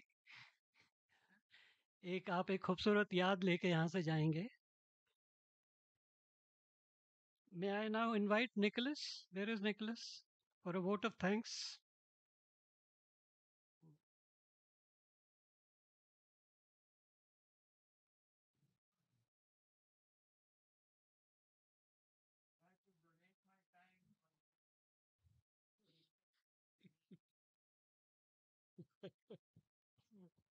um professor साहब, आप आए। शुक्र गुजार हूँ। दास साहब, रवि चोपड़ा साहब, रवि शंकर साहब सबका शुक्रगुजार हूँ, लेकिन I am most grateful to all of you who turn up. All the events we trying to have here a community events. They only happen if you come, okay? They are by the community, for the community. So, Ishtiaq Ahmad Saab, by that measure, you are part of our community now. Thank so, you very much. Thank you very much. Thank you very much. I thank all of you. Uh, please do keep coming to whatever we do, big or small. Uh, it's lovely to see such a packed house. Uh, please do keep coming for everything we do. It would be a pleasure. Thank you so much again. Uh, there's a small chai biscuit affair in the cafeteria for those who might require refreshments. yeah. Thank you so much.